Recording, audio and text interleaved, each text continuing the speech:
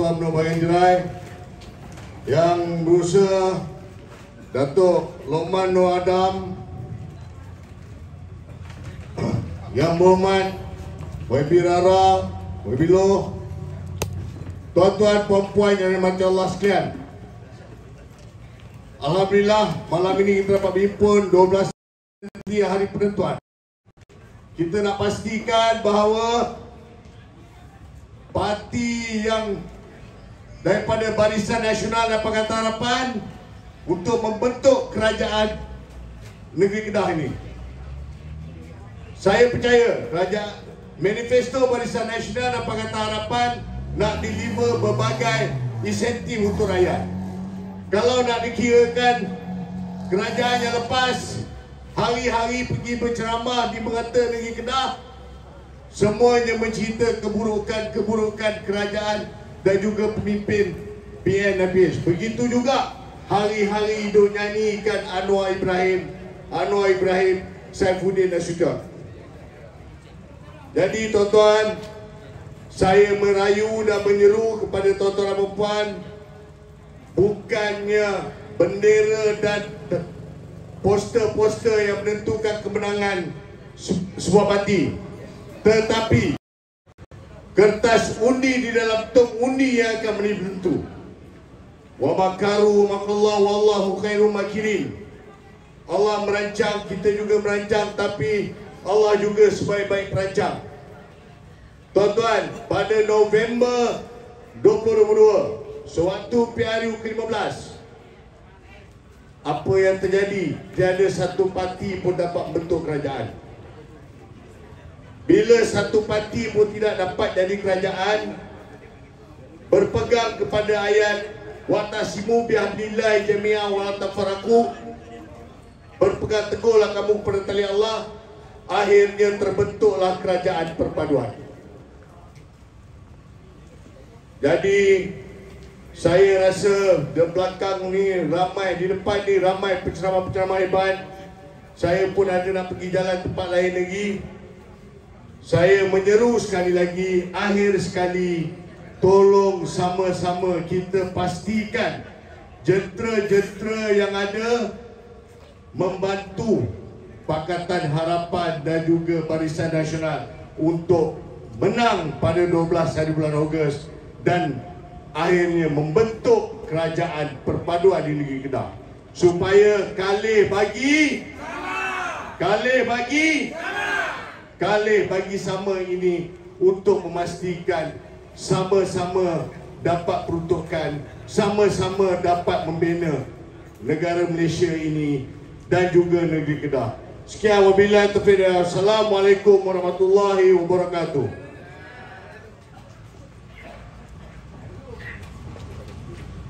Majlis merakamkan ucapan setinggi-tinggi penghargaan kepada Tuan Syed Tuan-tuan dan puan-puan, seterusnya majlis menjemput yang berbahagia Datuk Seri Jamil Hai Bahrum, Ketua UMNO Bahagian Jerai merangkap Ahli Majlis Kerja Tertinggi UMNO Malaysia. Dipersilakan Datuk.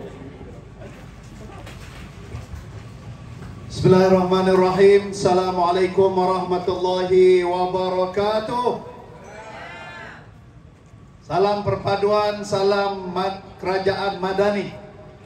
Yang saya hormati saudara pengacara majlis yang dihormati Yang berbahagia yang berhormat YB Yong Sapura YB Rara. Bagilah tepuk sekali sikit. Jauh mana daripada bentuk. Yang berhormat YB Loh Daripada Jalung Exco Kerajaan Negeri Perak. Yang berbahagia Datuk Lokman Nur Adam ahli Majlis Kerja Tertinggi UMNO Malaysia yang berbahagia calon mudah-mudahan 12 bulan Zul jadi yang berhormat calon bagi N21 buat sepedak saudara Paris. Yang ni kita import mai jauh daripada Perancis Paris sana. Tuan-tuan akan ada nanti YB Stephen Sim yang akan sampai Menteri Keuangan kedua yang akan turut bersama berada di pentas pada malam ini. Tuan-tuan dan puan-puan, untuk ahli-ahli yang berhormat, untuk Datuk Lekman Adam, saya nak sampaikan sikit maklumat tentang M21 Guak Cempedak. Di Guak Cempedak ini daripada Pekan Guak sampai Singkat, Singkat Darat, Singkat Laut, Singkat Badung, kita ada tiga kumpulan komuniti, empat kumpulan yang berada di dalam kawasan kita. Yang pertama ialah pekerja-pekerja kerajaan yang termasuk juga dengan syarikat swasta. Yang kedua, Kelompok yang banyak berada di sini ialah kelompok daripada pesawah, petani-petani, khususnya pesawah dan petani mada. Yang ketiga ialah pekebun-pekebun daripada pegetah, iaitu kalangan-kalangan penoreh. Dan yang ketiga daripada kebun buah-buahan dan juga sawit. Tuan-tuan dan perempuan, termasuk juga yang ketiga, singkat laut, singkat darat, badung, ialah kali pada kawasan per, uh, kawasan mereka yang menjadi nelayan. Tuan-tuan, nelayan telah pun diberikan insentif kepada mereka oleh pihak kerajaan. Dulu waktu kerajaan yang baru ambil alih, yang terdahulu yang dipimpin oleh di zaman Tun Mahathir, kita tengok bahawa bantuan bulanan mereka, insentif bulanan telah pun dikurangkan. Tetapi hari ini, kerajaan pimpinan Yang Amat Berhormat Datuk Seri Anwar Ibrahim telah pun mengumumkan untuk mereka mendapat kembali insentif bulanan kepada nelayan-nelayan. Yang kedua, yang saya nak sebutkan ialah golongan-golongan yang menoreh getah. Hari ini penoreh getah telah pun diberikan kembali bahkan ditambah daripada waktu musim tenggujuh bulan November, bulan Disember, bulan Januari mereka dibayar dengan lamsam sebanyak RM800. Ha, bagus, betul. Yang ketiga, ha, ini golongan-golongan yang menjadi petani-petani, yang menjadi pesawah-pesawah. Saya nak kena umumkan insentif besar yang telah pun diumumkan oleh Yang Amat Berhormat Perdana Menteri. Yang pertama ialah pertambahan baru selain daripada yang diberikan oleh Pernas Kerajaan telah mengumumkan sebanyak 2 bilion ringgit untuk bagi kemudahan untuk impra kepada petani-petani. Nak korek balik parit baru, nak korek balik dia punya lorong-lorong air, air buang dan air masuk, maka tambahan 2000 ringgit diberi 2000 sorry 2 bilion ringgit. Padan apa menung pun. 2 bilion ringgit diberikan untuk tujuan kemudahan bagi petani-petani pesawah-pesawah yang berada di dalam kawasan kita. Dan diumumkan pula bahawa petani-petani hari ini diumumkan oleh kerajaan bahawa dalam tempoh 2 tahun akan bermula musim baru iaitu penanaman padi 2 tahun sebanyak berapa kali? Dua tahun sebanyak lima kali. Biasanya kita tanam dua tahun empat kali, sekarang dua tahun lima kali. Artinya yang muda ialah yang empat musim tu laki kita ambil, yang musim yang kelima tu bini ambil beli gelang dan beli rantai. Boleh ke? Dah apa tak tepuk siapa? Dan untuk tujuan impra tersebut Yang Amat Berhormat Perdana Menteri telah memberikan peruntukan tambahan untuk tujuan tadi 2 bilion ditambah lagi sebanyak 2 bilion. Tadi saya tanya kepada ni orang kuat mada ni Haji Jamaluddin. Saya tanya kat dia saya telefon Ji, kerajaan hari ini telah mengumumkan pada 8 hari bulan Ogos 2023 baru-baru ini yang amat berhormat Perdana Menteri telah pun mengumumkan bahawa harga lantai padi telah pun dibuka dan harga telah dinaikkan. Dan yang paling penting dan besarnya ialah subsidi padi daripada 1 metrik tan kepada daripada 360 ringgit betul? Naik kepada 500 ringgit 1 metrik tan untuk subsidi kepada penanam padi. Dan yang lebih baik dan indahnya ialah harga beras tidak dinaikkan. Tan dengan lelok hang ada ada, ada kelah banyak ni. Ni pasal sahabat saya ketua MCA gerai. Dia ada kelang beras. Harga beras tak naik tan. tetapi harga subsidi padi daripada 1 metrik tan RM360 naik kepada RM500 pada waktu ini. Jadi tuan-tuan, orang-orang petani pesawah ni dia boleh buka dada sikit, dia boleh seronok sikit untuk tujuan nak sambut raya mereka nanti. Bahkan saya dipahamkan tadi juga bahawa untuk harga padi yang baru pula sekarang ni telah pun dinaikkan. Satu tan tadi asal ialah sebanyak 120 kan? Dinaikkan. Kilang-kilang yang yang awam telah mengumumkan sebanyak RM1,500. Betul tak? Ah, betul. Dan bernas kekal sebanyak jumlah 100 RM1,260. Tuan-tuan terpulang untuk mendapat lebihan daripada tersebut untuk jualan padi.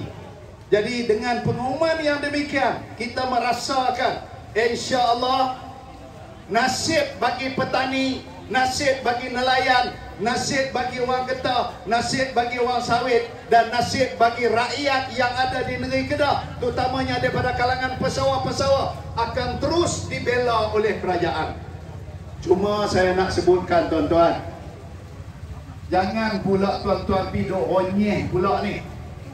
Jangan tuan-tuan duk buat silap apabila tawaran ini diberikan, apabila tawaran pasal-pasal tengah jalan pi tukar ni pula. Bila tuan-tuan tukar tak boleh. Ni, belakang kita ni tak jauh di Pekandian. Pantai Muri kita buat dulu masjid terapung satu-satunya masjid terapung di negeri Kedah yang sepatutnya siap pada bulan September 2019 tetapi oleh kerana Barisan Nasional tumbang pada bulan bulan Mei tahun 2018 masjid hari ini terbengkalai sehingga sampai kepada 2023 patutnya siap 2019 Bank Islam yang kita buka dekat dengan Sungai Limau Dalam ditutup apabila mereka mengambil alih. Jadi tuan-tuan, sebab itu tadi war cry negeri Kedah kalih bagi kalih bagi. Supaya biar harga padi itu betul dia berjalan, biar supaya subsidi itu betul dia berjalan, biar bantuan untuk peneroka, nelayan dan sebagainya berjalan. Jadi tuan-tuan dan puan-puan, Hari ini kita nak cakap Saya hari ini nak cakap soal 12 hari bulan tuan-tuan Tolong jangan silap lagi pangkau. Uh, Saya nak minta ada anak muda mai seorang? Ni Mana anak muda mai seorang uh, Muda apa ni Tuan lah Tak apalah Ni pemuda Tuan-tuan 12 hari bulan ni saya nak bagi tahu Bukan nak bicarakan pada 12 ini persoalannya nasib Jamil Khair. Bukan. 12 hari bulan bukan nak bicara soal nasib. Sahabat saya Datuk Lokman Adam. Bukan nak bicarakan 12 hari bulan ini nasib YB Rara. Bukan nak bicarakan soal nasib calon kita. 12 hari bulan kita nak bicarakan soal nasib ni. Anak muda. Walaupun nampak tak apa muda lah. Nak bicarakan nasib anak-anak kita Nak bicarakan nasib anak-anak tuan-tuan Supaya kalau tersilap pilih pada 12 hari bulan ni Yang menderita ialah generasi mereka Yang menderita anak-anak cucu di bawah kita Jadi sebab itu tolong 12 hari bulan Jangan tersilap pilih. Pastikan kita kalih bagi. Jadi oleh yang demikian terima kasih. Orang muda cukup sekadar itu pada malam ini. Saya mohon izin lepas ni ada satu lagi program dekat dengan gurun pula. Terima kasih kepada semua sahabat-sahabat saya Datuk Lokman Adam. Terima kasih Wadi Rara. Terima kasih Wadi Show terima kasih kepada yang akan sampai nanti Sim yang akan sampai kepada kita jadi tuan-tuan saat dia ambil peluang tunggu Sim akan sampai pukul 11 malam ni kerana Menteri Keuangan kedua akan sampai Tuan-tuan nak tanya apa pun tanyalah. Saya bukan besar suruh minta. Tapi pandai-pandai lah bisik kepada Timbalan Menteri Keuangan dua. Jadi sekadar itu wabillahi taufik. Assalamualaikum warahmatullahi wabarakatuh. Majlis merakamkan ucapan terima kasih kepada Datuk Seri Hakim Bahrum.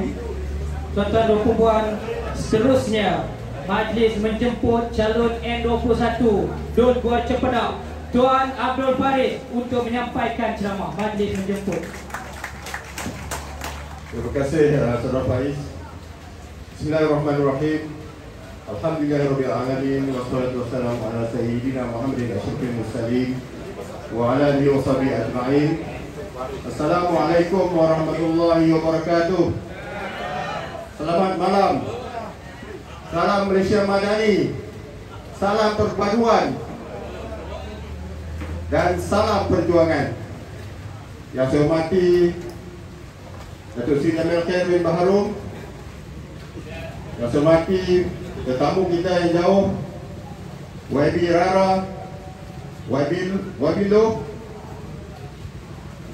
Yang berbahagia Datuk Lokman Adam. Barisan uh, Kepimpinan. Barisan Nasional Barisan Kepimpinan Pakatan Harapan Tuan-tuan dan perempuan para pendukung penyokong Parti Barisan Nasional uh, Parti Pakatan Harapan dan tuan-tuan dan perempuan warga Gua Cepedak yang ada di yang ada di depan saya pada malam ini. Alhamdulillah kerana saya dapat berdiri lagi di pentas di tempat yang bertuah ini untuk melapaskan sepatah dua kata kepada tuan-tuan dan perempuan yang menjadi inspirasi dan semangat saya untuk menghadapi PRU PRN pada 12.98 nanti. Tuan-tuan dan perempuan, sesungguhnya saya amat bersyukur kerana diberi kesempatan, diberi peluang oleh parti untuk mewakili parti dalam uh, pilihan raya negeri yang akan berlaku pada 12 bulan 8 nanti. Sesungguhnya saya akan memperjuangkan melaksanakan tanggungjawab yang diberikan ini dengan sebaik mungkin. Dalam tempoh kempen ini saya telah melakukan apa yang berdaya dengan bantuan rakan-rakan semua untuk memastikan warga Gua Cepedak dapat mengenali Abdul Faris Abdul Hamid calon nombor 2 Barisan Nasional Tagi N21 Gua Cepedak. Saya agak gugup malam ini sebab di depan saya, di belakang saya ini adalah barisan kepimpinan tokoh-tokoh hebat, pemimpin terhebat. Tetapi saya adalah insan biasa, tak pandai sangat bercakap, tapi boleh buat kerja insya-Allah.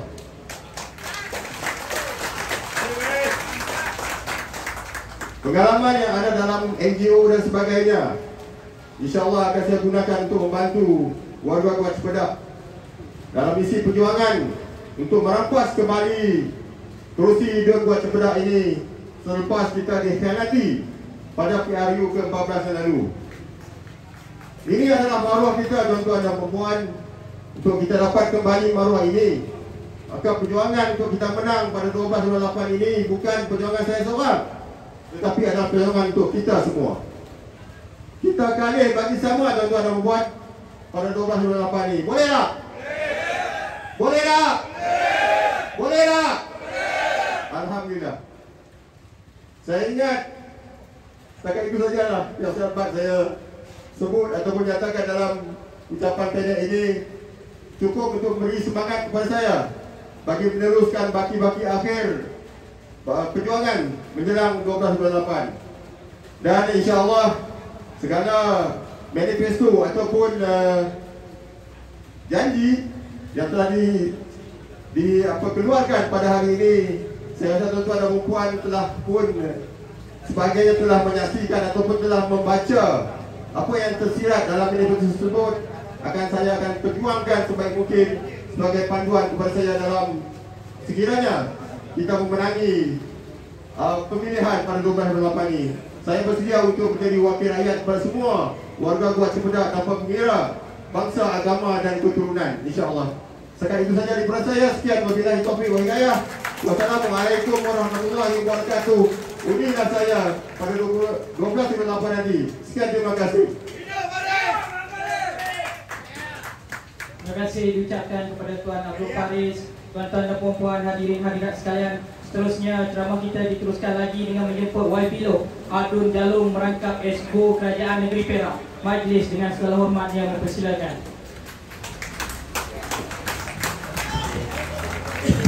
uh, Selamat petang ke selamat malam? Malam ah. Sebab saya dulu selalu kena cikgu marah saya malam kena pergi tidur. Itu yang selalu sampai hari ini saya tak tahu selamat petang ke selamat malam. Jadi salam sejahtera pada Dato' Lokman, uh, YB Rara, uh, bakal YB gua cempedak. Saudara Faiz, uh, kepada semua tukang pacak bendera, tukang tunggang kerusi, okey kepada abang-abang polis dan paling penting kepada semua penyokong-penyokong yang ada sini. Beri tepukan kepada anda sendiri. Sampai hari ini saya tak tahu nak cakap apa atas pentas UMNO tau. Sakit kepala. Dulu cakap, sekarang dah jadi kawan. Ah, tapi saya kena cakap juga sebab saya hari ini datang nak sampaikan salam, sampaikan cerita daripada negeri di bawah kerajaan perpaduan. Menteri besar saya dulu musuh saya. Ha, dia YB selama enam penggal. Lawan saya dulu YB Temenggong. Lawan saya dua penggal. Dia duduk betul-betul depan saya. Saya tengking dia jerit. Saya lompat dia tepuk meja. Tapi hari sekarang hari-hari duduk tepi saya. Ha. Tapi kita kena fikir kenapa jadi macam ni. Sebenarnya kalau nak dikatakan, nak ditanyakan Gila kuasa. Ada orang tuduh kita gila kuasa. Tapi nak kata gila kuasa Kita tak heran lah jadi pembangkang Dah 60 tahun. Tak heran. Dan saya rasa untuk UMNO pun dia tak takut. Cuma kita nampak satu yang lebih besar depan mata kita. Sebab kita perlukan kestabilan. Kestabilan itu sangat penting. Dan saya sebagai exco nak disampaikan cerita lah. Saya sebagai expo pelaburan Setiap kali kita keluar negeri Setiap kali ada rombongan luar negeri masuk Persoalan dia akan tanya satu. Masalah dia akan balik kepada satu. Kerajaan stabil ke tidak mereka akan tanya. Kita labur hari ini esok tukar kerajaan macam mana? Itu soalan mereka. Dan kita tengok setakat ni Dalam lebih kurang lebih daripada setengah tahun setelah kerajaan perpaduan memerintah kita nampak tak ada masalah. Sebelum saya pergi cerita yang lebih sakit hati sikit saya bagi yang sejukkan hati sikit. Di negeri Perak di bawah kerajaan perpaduan tak ada masalah. Selagi pembangkang cakap baik-baik selagi pembangkang sembang baik-baik kita tak ada masalah. Kerajaan perpaduan di bawah YB yang amat berhormat YB, MB, Sarani Kononnya Kerusi UMNO sikit. Kerusi DAP Berlambak. 18 Ha tu. Kalau masuk don kan Satu penuh semua DAP Tapi MB kita Yang amat berhormat Sarani. Datuk Sarani Datuk Seri Sarani. Kita bagi peruntukan sama rata kepada semua adun. Tak kira kerajaan ataupun pembangkang. Tak naik isu kita nak pilih kuasa ke kita nak sindir orang ke kita nak balas dendam ke tak ada. Walaupun kalau ikutkan dari segi politik lebih baik jangan bagi duit kepada perikatan nasional. Sebab kita tahu YB-YB dia akan gunakan duit tu YB-YB daripada Perikatan Nasional akan guna duit tu Untuk melawan balik kerajaan perpaduan. Tapi atas dasar moral, atas dasar kita nak jaga rakyat, MB, UMNO bagi peruntukan kepada semua YB dalam Perikatan Nasional. Itulah kerajaan perpaduan yang kita nak. Saya cuma nak tanya satu, Kedah dapat sama rata tak? Tak ada. Hmm, PN. Itulah Perikatan Nasional, cakap terror. Kan? Jadi itu yang kita nak tengok. Jadi bila pelabur datang dia tengok di, di, di, di bawah kerajaan perpaduan semua stabil. Bila dia nampak stabil, ada niat nak menstabilkan, nak redakan suhu politik. Itu mereka datang melabur. Dan kita tengok dalam setengah tahun ini. Kedudukan dari pelbagai indeks di dalam atau di luar negara menjadi begitu baik. dari segi persaingan persaingan kedudukan Malaysia dalam keseluruhan negara-negara yang antarabangsa ni kita daripada tangga ke-32 kita sekarang dah jadi tangga 27 peningkatan 5 tangga dalam setengah tahun. Zaman Perikatan Nasional menjadi kerajaan. Inflasi sebelum pilihan raya 4.7% sekarang kita dah jadi kita stabilkan di paras lebih kurang 2.4% itu menyebabkan pelanggaran nak masuk. Dan juga di bawah kerajaan perpaduan kita tak tindas. Bukan saja tak tindas orang politik dengan orang media pun kita tak kacau. Nak lapor apa biarlah kamu laporkan. Sebab kita confident apa yang kita buat baik. Indeks transpirasi um, trans trans ah ni satu dia ni. Apa tadi transpirasi lah kan ha. Untuk media ni. Daripada tanggal 113 jatuh sampai 73 maknanya kita menjadi kenaikan tu 40 tangga di bawah pimpinan Datuk Seri Anwar Ibrahim tuan-tuan dan puan-puan. Ke manakah penindasannya? Tak ada. Ini yang kita nak. Ini yang kita nak supaya anak-anak kita boleh mendapat satu negara yang lebih baik.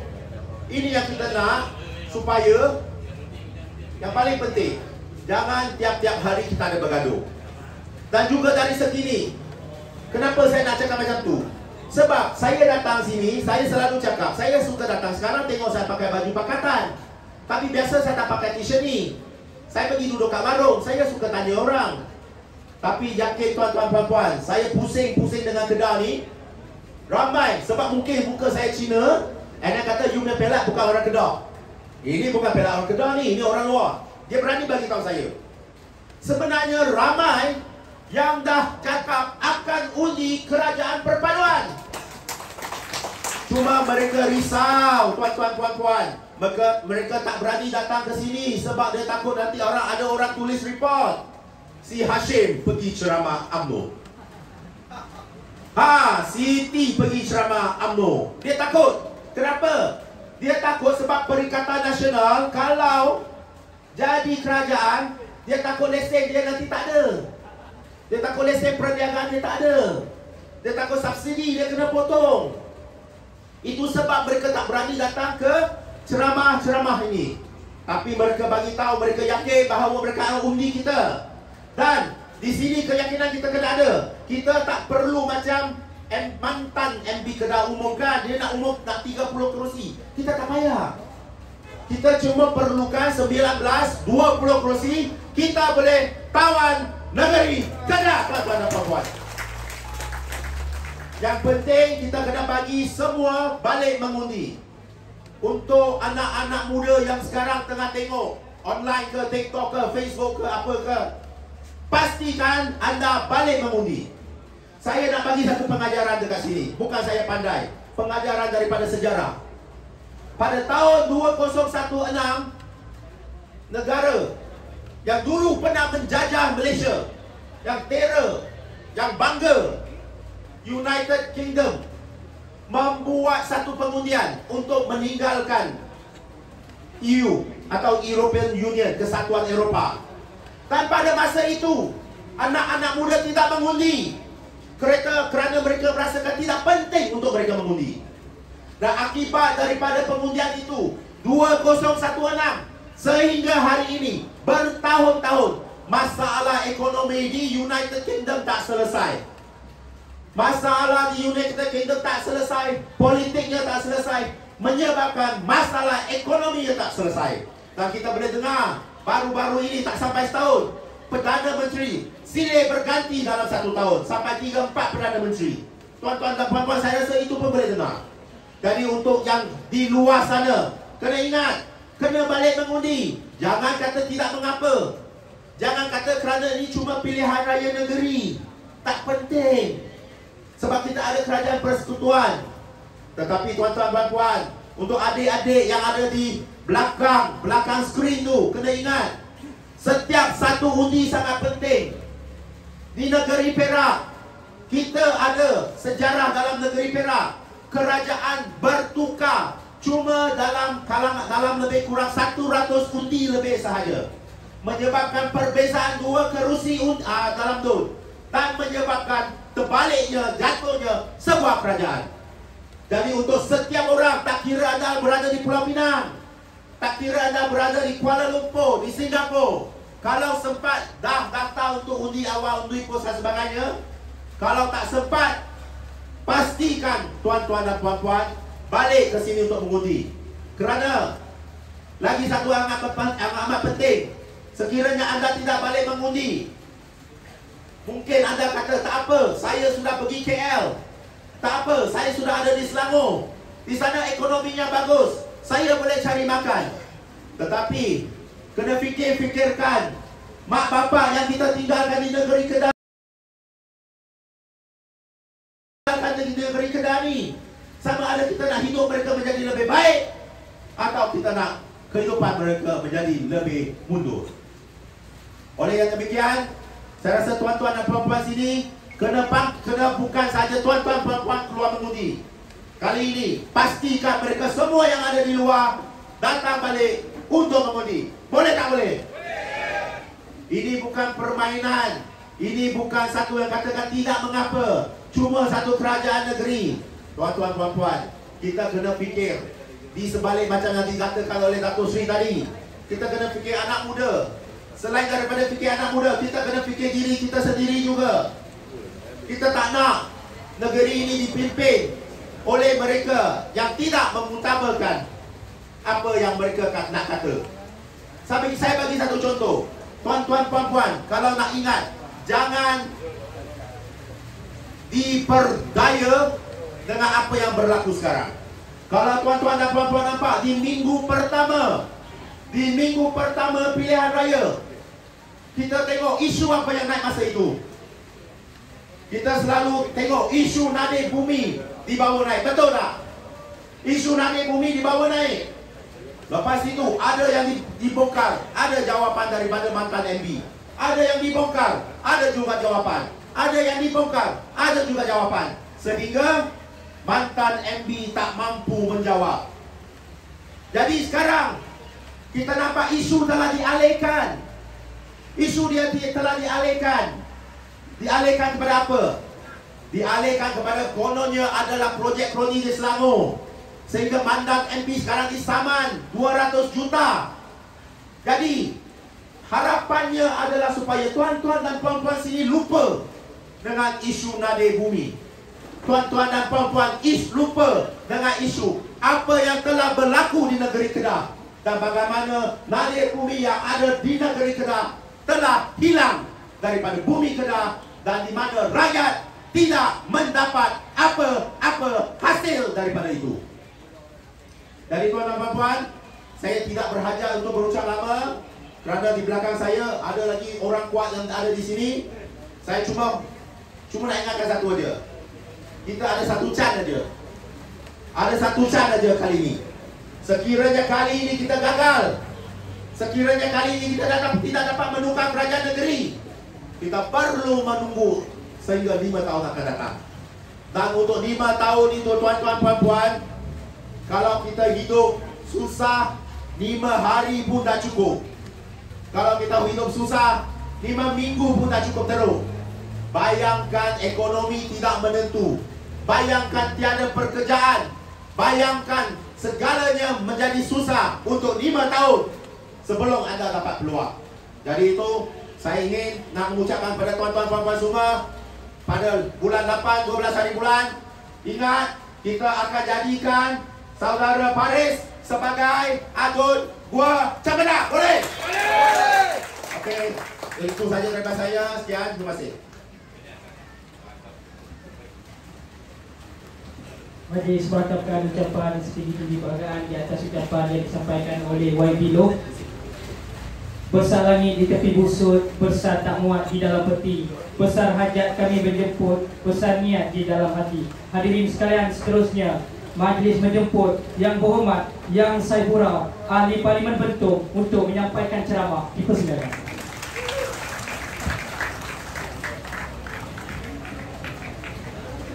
Terima kasih Saudara Faris Bismillahirrahmanirrahim Assalamualaikum warahmatullahi wabarakatuh dan salam sejahtera. Selamat malam semua. Apa khabar orang buah cempedak? Baik. Baik. Baik. Kalau baik boleh menang tak? Baik. Yang saya hormati Datuk Romano Adam, Saudara Wadilo dari Expo Perak dan juga pimpinan daripada sama ada Pakatan Harapan ataupun Barisan Nasional serta jentera-jentera dari kedua-duanya dan juga uh, tuan-tuan dan puan-puan, pakcik-makcik yang mai malam ni untuk mendengar sesi pencerahan daripada kita. Uh, saya nama saya Rara, mungkinlah orang kat sini tak kenal. Saya datang jauh dari Bentong. Tapi satu benda saya nak bagi tahu. Saya sebenarnya balik ke kampung ayah saya. Ayah saya orang Yan. Tapi Yan kat mana saya tak tahu. Sebab lepas dia dilahirkan di Yan, dia membesar di Kuala Muda Pulau Pinang. Ha, tapi kita ramailah pak menakan, mak menakan di sekitar dalam Kedah ni. Jadi dia macam balik kampung ano, jumpa pak pak menakan, mak menakan yang ada kat sini ni yang kita anggap saudara mara kita.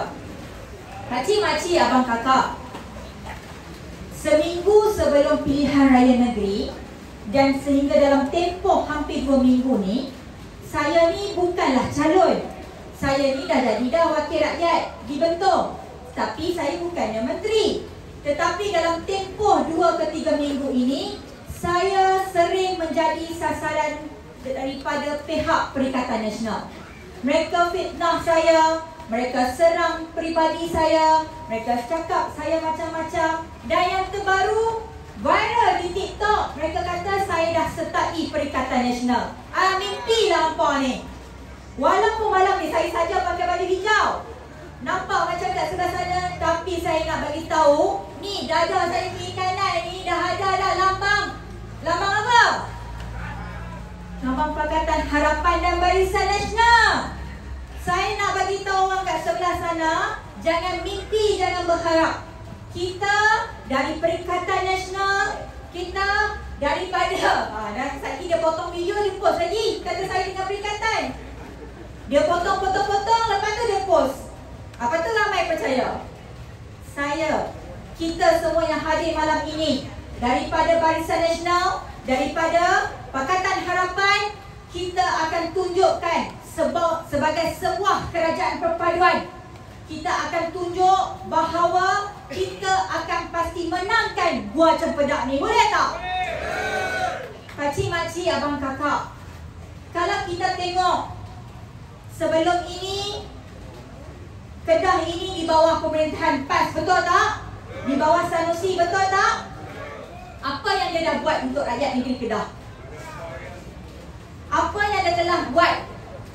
Yang dia tahu sampai sekarang Dia pergi maki PMX kita Dia cari gaduh dengan semua orang Dia mulut cerupa Dia maki orang sana sini Guna bahasa kasar Sebab tu bila saya cakap Dia ni loklah Orang perikatan, orang PAS marah saya tapi dia memang tolak. Tak tahu jaga bahasa. Sebagai seorang pemimpin, seorang menteri besar, patutnya ada adab, ada akhlak, betul tak? Tetapi dia tunjuk sikap yang tak baik kepada semua orang. Terutamanya kepada anak-anak muda. Dia tunjukkan sikap yang sangat tidak menghormati orang lain. Takkanlah pemimpin macam tu yang kita nak pilih untuk mentadbir negeri Kedah sekali lagi. Takkanlah kita nak pilih orang macam tu untuk menjaga kita rakyat Kedah. Jadi saya percaya pada 12 hari bulan nanti semua orang di sini, semua orang di kawasan seluruh Kedah akan pastikan kita kalih bagi Kita kalih bagi kita mesti kalih bagi sama. Kerana ini sangat penting. Kita lihat hari ini di bawah kerajaan perpaduan kerjasama di antara Datuk Seri Anwar Ibrahim dengan Datuk Seri Zahid Hamidi dan menteri-menteri kabinet serta ahli-ahli parlimen dari kerajaan perpaduan. Kita lihat dalam tempoh 8 bulan ini yang baru saja 8 bulan tetapi dalam tempoh 8 bulan ini telah banyak yang telah kita tawarkan, yang telah kita berikan, yang kita telah bantu rakyat Malaysia khususnya. Betul tak? Sama ada golongan pesawah golongan nelayan, golongan peniaga, orang-orang susah, orang kurang upaya, anak-anak muda. Siapa lagi?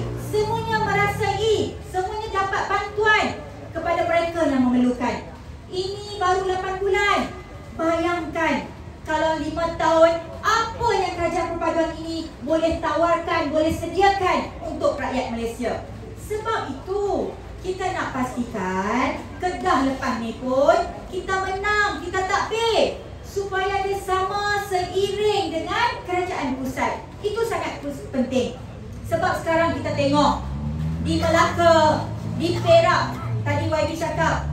Kemudian saya dari Pahang. Kami ini kerajaan perpaduan hari ini. Kalau nak ikutkan saya orang Pahang, saya tak ada peduli lah orang Kedah ni. Lantak pergi apalah. Bukannya saya orang sini pun. Pandai-pandai lah orang Kedah ni kalau duduk bawah pembangkang pun. Pandai-pandai lah duduk bawah pas perikatan pun. Tetapi kerana kami sangat mementingkan, kerana kami sangat risau dengan keadaan yang berlaku di bawah pentadbiran sama ada Perikatan Nasional PAS Bersatu dan sebagainya. Mereka tak tahu nak jaga negeri. Mereka tak tahu nak tabir negeri. Yang mereka tahu hanyalah bermain dengan politik. Mereka retorik semata-mata saja. Mereka fitnah sana sini. Mereka cakap gebang, mereka cakap besar, sembang lebat lah orang bagi tahu. Sembang lebat tapi hasil tak ada.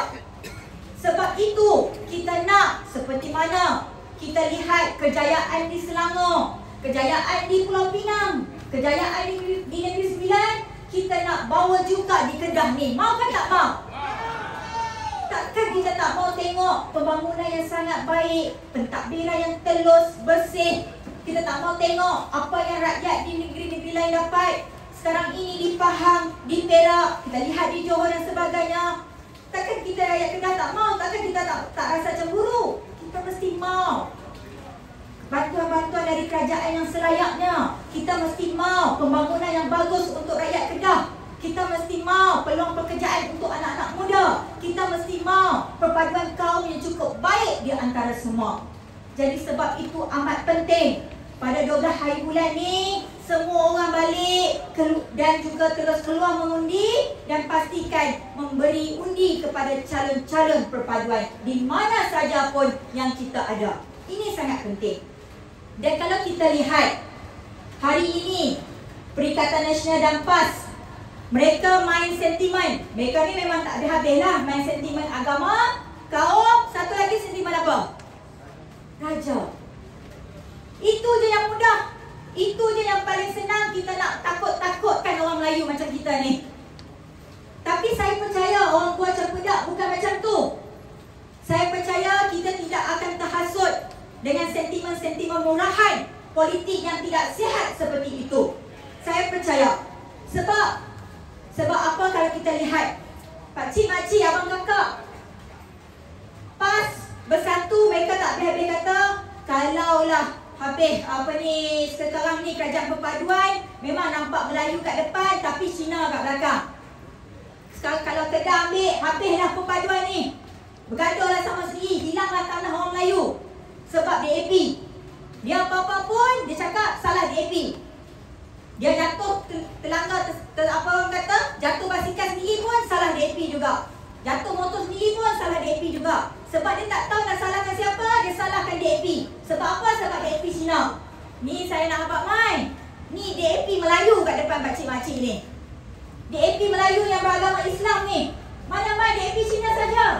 DAP dari kaum yang pelbagai kenapa nak main sentimen agama dan kami nak bagi tahu sebagai sebuah parti yang kita lihat tak pernah pun diharamkan dalam organisasi dia kerana kita mengikut perlembagaan dan kalau kita nak bagi tahu DAP menghormati Islam sebagai agama persekutuan saya ni orang Islam takkanlah saya nak tak menghormati agama saya sendiri betul tak kalau lah parti saya tidak menghormati agama saya saya sendiri orang pertama akan bangkang akan lawan jadi kami nak bagi tahu DAP menghormati agama Islam sebagai agama persekutuan. Kita tengok kat Pulau Pinang, kalau DAP tak hormat Islam, tak hormat agama Islam, masjid-masjid ada lagi tak?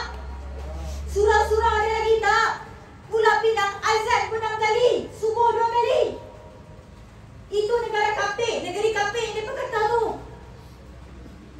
tak? Sebab mereka nak takutkan mereka kata DAP ini anti-Islam. Yang kedua, DAP amat menghormati institusi diraja. Kita amat menghormati Tuanku Agong dan Raja-Raja Melayu. Sekarang ni saya nak tanya, siapa yang lawan Raja? Siapa yang lawan Sultan? Siapa yang buat statement yang sehinggakan dia kena panggil ke balai? Sanusi. Pas. Siapa yang lawan? Depa. Tapi depa hala tuju kepada DAP, ini salah DAP. Kemudian, kami dari DAP juga kita amat menghormati dan juga kita akan memastikan hak-hak orang Melayu kita tidak akan ganggu. Hak hak hak istimewa orang Melayu. Saya sendiri orang Melayu. Takkan saya nak biarkan perkara tu? Dan saya nak tanya, Siapa Perdana Menteri Malaysia? Melayu ke Cina? Siapa Ketua Polis Negara? Ini siapa menteri-menteri? Menteri Kabinet ada berapa orang? 30 orang. Cina ada 5, satu India, betul? Adakah hak-hak orang Melayu akan ter- tergadai? Tidak. Sebab kita menghormati dan sebab kita bersama. Tapi mereka lah yang melawan. Mereka lah yang menakut-nakutkan orang Melayu ni. Menang sajalah, habislah. Hilang tergadai orang Melayu. Yang hilang tergadai tu mereka bukannya orang Melayu kat sini. Kemudian kita lihat bagaimana kita men, uh, apa ni? Kita akan memastikan bahasa Melayu sebagai bahasa kebangsaan. Dengar tak tadi? Wabilo dah tak ada lah. Hilang. Dia Cina. Elok tak bahasa Melayu dia? Elok eh? Ha, boleh lah. Bunyi Cina sikit lah. Dah lama bercina. Tapi masih lah bahasa Melayu betul tak? YB Stevenson jadi dia main. Ah bunyi tu bunyi pinat, bunyi pinek. Kita ni cukup hanya politik tentang politik hikmat. Politik yang bekerja, politik matang, politik yang menawarkan apa solusi kita untuk rakyat. Kita bukan politik yang kepada politik resis, politik perkauman, politik yang nak melakarkan satu sama lain. Kita pergi kepada politik matang. Sebab itu pakcik makcik abang kakak, saya mohon jangan sesekali kita terpedaya, kita percaya ataupun kita rasa ini adalah satu uh, kehilangan kuasa dan sebagainya. Kita perlu lawan kalau orang kata kalau orang kata DAP itu ini kita kena percaya sebabnya kita sekarang dah kawan. Dulu kita lawan, sekarang kita kita kawan. Dulu mungkin kita berlawan sama satu sama lain. Tapi hari ini kita sepentas. Kita bersama dalam satu kabinet. Kita bersama dalam parlimen. Kerana apa yang penting adalah kita ke arah kestabilan politik. Kestabilan ekonomi. Sebab itulah DAP, Pakatan Harapan, UMNO, Barisan Nasional. Kita duduk bersama. Sebab kita nak utamakan kebajikan rakyat. Kita nak pastikan ekonomi baik. Kita nak pastikan politik itu baik. Sebab itu kita lihat bagaimana Perdana Menteri, timbalan timbalan Perdana Menteri, menteri-menteri semuanya bekerja dengan kuat mencari pelabur dari luar negara, bekerja jumpa dengan segenap rakyat di Malaysia sebab dia nak yakinkan apa yang mereka boleh buat untuk rakyat Malaysia. Sebab itu saya mohon jangan kita percaya dengan sentimen-sentimen jahat itu. Dan hari ini pakcik-makcik yang mungkin duduk di gurun bukannya akan pangkal DAP tapi akan akan pangkal harapan orang pakatan di sini akan pangkal barisan nasional ini pertama kali kita semua akan pangkal parti yang sebelum ini lawan dengan kita tapi hari ini demi kestabilan politik demi ke kestabilan ekonomi demi kebajikan rakyat kita akan pangkal barisan nasional ataupun pakatan harapan boleh tak kita kena sokong satu sama lain. Kita tunjukkan kepada Perikatan Nasional. Kamu jangan porak-perandakan negara ini. Kamu jangan nak menghasut rakyat. Kamu jangan main sentimen kaum kepada kami. Cukup. Dan kita tunjukkan pada 12 hari bulan nanti, keputusannya kita boleh menang. Kita boleh menang Selangor semula, kita menang Pulau Pinang semula, kita menang Negeri Sembilan semula dan kita boleh menang Kedah. Boleh tak? Mesti cak, boleh, boleh, mesti buat. Pakcik, makcik, abang kakak, yang main ni mungkin boleh faham. Yang duduk kat rumah macam mana? Yang masih merajuk macam mana? Ah, lah pujuk, tolong pujukkan. Sebab penting, kita nak pengundi kita sendiri. Orang-orang kita sendiri keluar mengundi pangkah kerajaan perpaduan. Itu sangat penting. Ha, kalaulah kita sendiri pun tak keluar, kita sendiri masih was-was, macam mana kita nak menang? Sebab itu semua orang ada peranan yang sangat penting untuk keluarkan semua pengundi-pengundi, keluarkan semua penyokong-penyokong untuk keluar pangkah pekerjaan perpaduan pada 12 hari bulan nanti. Kita nak orang keluar ramai. Kita tak mau seorang pun tertinggal. Kerana mungkin satu undi ini akan memberikan kemenangan kepada calon kita saudara Faris. Mungkin kerana satu undi ini akan memenangkan kerajaan negeri Kedah dan kita dapat seorang calon menteri besar yang baru dari sebuah kerajaan perpaduan. Kita mau kan? Kita mau kita kena buat. Orang-orang muda di hadapan saya. Ini mesej untuk anda. Keputusan yang anda akan buat nanti yang akan menentukan kerajaan apa yang anda akan pilih. Saya dah selesa di, dipaham Orang lain mungkin dah selesa di Melaka Dah selesa di Johor, Sabah, Sarawak. Orang lain mungkin dah jadi wakil rakyat dan sebagainya. Tetapi anda yang akan menentukan Siapa pemimpin yang akan mentadbir negeri anda. Anda yang akan menentukan ke mana pergi masa depan anda. Anda yang akan menentukan Siapa yang akan menjaga kebajikan anda dan keluarga anda. Sebab itu orang muda Jangan kerana kita lihat kepada populariti Sanusi saja. Jangan kita terhasut di TikTok saja tengok. Tetapi kita harus fikir panjang apa yang kita mahu untuk diri kita, untuk keluarga dan juga untuk masa depan. Sebab apa saya cakap anak muda? Sebab undi anak muda adalah antara blok yang terbesar. Anak-anak pakcik-makcik ni yang akan beri undi. Mungkin pakcik-makcik sokong kita kerja perpaduan. Tapi anak-anak kita, kita tak tahu sokong siapa. Tidak ikut kawan-kawan ke? Dia tengok TikTok ke? Sebab itu pakcik-makcik, abang kakak dan anak-anak muda keseluruhan Tolong. Ingat Anda sendiri yang akan tentukan Siapa yang nak takbir kerajaan negeri ini. Kalau masih anda nak lihat Seorang menteri besar yang tiada adab Yang tak ada, yang tak ada akhlak Yang tak, tak tahu macam mana nak takbir negeri Silakan pilih. Tetapi kalau anda nak lihat seorang bakal menteri besar yang baru yang boleh mencari mencari ekonomi yang lebih bagus untuk rakyat Kedah mencari pelaburan yang lebih baik untuk rakyat Kedah mencari peluang pekerjaan yang lebih baik untuk rakyat Kedah pilihlah kerajaan perpaduan boleh saya percaya juga orang di Gua Cempedak ni akan pilih Paris. Nak Paris tak? Sebab dia, tadi saya tanya dia ni baru calon baru orang lama tapi calon calon baru. Berikan peluang kepada calon ini kepada saudara Paris untuk menjadi suara anda di Gua Cempedak ni. Berikan peluang kepada saudara Paris untuk membawa suara pak cik makcik abang kakak di Dewan Negeri. Berikan peluang kepada saudara Paris untuk menjaga kebajikan orang Gua Cempedak berikan peluang kepada saudara Paris untuk berkhidmat untuk rakyat di Kuala Cempedak dalam tempoh lima tahun ini. Boleh berikan peluang kepada dia? Saya harap kemenangan untuk beliau. Saya juga harap kemenangan untuk semua calon-calon perpaduan di tempat lain. Kerana inilah masa dan peluang yang kita ada untuk kita pilih pemimpin yang baik yang boleh berkhidmat untuk rakyat. Yang terakhir sebelum saya berundur, saya nak bagi tahu kepada PAS dan Perikatan Nasional jangan kamu memperbodohkan rakyat. Pilihan raya negeri ini untuk pilih kerajaan negeri betul tak?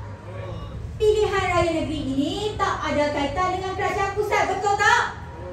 Tapi apa yang mereka main-mainkan sentimen? Mereka cakap kalau tumbang kerajaan negeri tumbanglah kerajaan pusat. Eh hey, Jangan nak bodoh-bodoh ke rakyat. Kerajaan negeri, kerajaan pusat tak ada kaitan. Saya yakin dan percaya Barisan Nasional dan Pakatan Harapan Akan terus kukuh bersama untuk satu penggal ini. Betul tak? Kita akan pertahankan kerajaan pusat kita. Kita akan terus berkhidmat Supaya kita dapat tawarkan yang terbaik untuk rakyat Malaysia. Dan yang pastinya kita harap kita akan dapat tawan Kedah semula untuk kerajaan negeri dan kerajaan pusat dapat bersama-sama. Jadi saya ucapkan terima kasih sekali lagi yang mendengar. Tolong sampaikan kepada anak-anak, kawan-kawan, jiran tetangga semua perkara-perkara ini. Tolong kongsi dengan mereka betapa pentingnya untuk kita menolak Perikatan Nasional untuk menolak PAS yang bersatu. Betapa pentingnya kita menangkan calon kita saudara Paris di Gua Cempedak. Betapa pentingnya untuk kita ambil Kedah. Kita kalih bagi kita kalih bagi kita kalih bagi Sekian terima kasih. Assalamualaikum.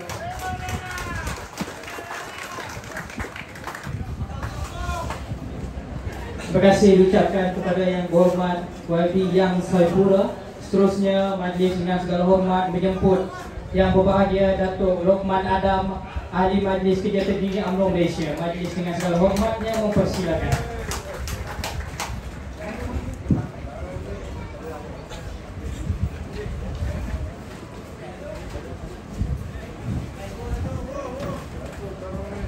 Bismillahirrahmanirrahim. Alhamdulillahirabbil alamin. Wassalatu wassalamu ala asyrafil anbiya wal mursalin wa ala alihi wa sahbihi ajma'in. Assalamualaikum warahmatullahi wabarakatuh. Baca hau. Sagutra sagutra gale nandre banako. Yang saya hormati saudara pengurusi majlis, sahabat saya yang berhormat Yang Safura atau lebih dikenali dengan nama Rara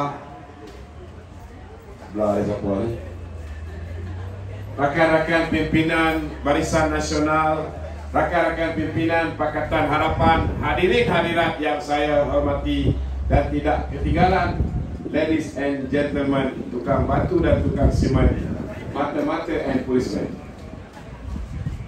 Sesedara lagi dua hari tuan-tuan. Besok, lusa Kita akan tahu nasib Menteri Besar Sanusi Saya dah tahu dah. Sedikit sebanyak saya dah tahu tuan-tuan. Walaupun kita tahu Peluang menang, peluang kalah tu ada di dua-dua belah pihak. Tetapi Dah hampir pasti saudara Sanusi Tidak akan dicalonkan semula Sebagai Menteri Besar. Jadi kalau anak-anak muda nak cari tukang timbang bola Nak cari pemain bola yang turun padat Lebih baik pergi ke stadium Cari pemain bola yang betul-betul main bola. Kita bukan nak cari pemain bola Kita nak cari orang yang boleh menjadi wakil rakyat. Dan orang itu Untuk N21 ni Ialah saudara Paris. Bukan jalan-jalan orang tuan-tuan. Kita import daripada Paris saudara Saudara, hari ini PAS pun dah tak bagi Sanusi ni pucat dah. Kalau dia tak bagi Sanusi ni pucat, dia dah tahu bahawa Sanusi ni mendatangkan mudarat kepada parti dia agak-agak saudara. Dia nak bagi tak nama Sanusi kepada kebawah dulu tuanku yang di eh? Uh, kebawah dulu tuanku Sultan Negeri Kedah kalau mereka menang. Dah tentu tidak tuan-tuan. Eh? Apatah lagi kita pun tahu ada pihak lain saya tak boleh sebut pun tak selesa melihat Sanusi ni duk berceramah ke sana ke sini. Dan negeri-negeri lain pas negeri lain beritahu jangan datang. Tak bagi Sanusi datang. Malah semalam sesaudara di Langkawi bila mana susah kompas. Dia berucap dia beritahu betul Sanusi ni naik Presiden PAS. Betul Sanusi ini ialah pengarah pilihan raya PAS. Tetapi kami tak itiraf. Dia sebut tak itiraf. Siapa yang dia tak itiraf ni tuan-tuan? Rupa-rupanya dekat Langkawi ni tuan-tuan. Walaupun dah ada calon. Tetapi di Langkawi saudara Sanusi letak dua orang calon. Satu, timbalan yang diputus PAS kawasan Sanusi, eh, kawasan Langkawi dan satu lagi ketua pemuda PAS kawasan Dua-dua bertanding jadi calon bebas. Belum lagi cerita bagaimana eh, Presiden gerakan tuan-tuan dihalau oleh pemimpin PAS. Mereka hari ini bercelaru saudara. Tapi hari ini saya nak beritahu dengan saudara, kita kena ucap terima kasih dekat Sanusi. Kerana kerana tanpa mulut dia yang macam longkang ini tuan-tuan. Belum tentu kita boleh menang dengan bergaya, bergaya di negeri Selangor. Hari ini saya nak beritahu dengan saudara, kita dah boleh istiar tiga negeri. Negeri Pulau Pinang, insyaAllah kerajaan perpaduan akan memerintah semula tuan-tuan. Di negeri Selangor, insyaAllah kerajaan perpaduan akan memerintah semula. Dan juga di negeri Sembilan, kerajaan perpaduan insyaAllah akan memerintah semula. Kenapa tiga negeri saja? Sebab hari ini, kalau ikut bancian kita, kalau ikut bancian kita, ada beberapa kekangan. Geng Pakatan Harapan, Alhamdulillah, lebih 80% dah ready nak undi calon-calon daripada PN. Betul tak betul nanti? Dah ready lah nak undi Paris. Eh? Tak ada masalah. Ha. Cuma masalah dia, kita takut geng-geng Pakatan Harapan, khususnya masyarakat Cina ni, kalau pilihan raya kecil, pilihan raya PRN, dia kurang sikit nak keluar. Jadi saya nak beritahu, this time around, change this. You got to change. You got to make sure that you must come on the 12th of August and vote for Barisan Nasional and Pakatan Harapan. This is very important. Penting. Eh? Kita takut kawan-kawan eh? anti-anti kita masyarakat Cina bila datang pilihan raya kecil kita takut tak keluar ramai. Ini boleh merosakkan termasuk tiga negeri yang dah ada peluang menang. Yang lagi satu tuan-tuan, geng BN ini. Ha, ini lagi satu masalah.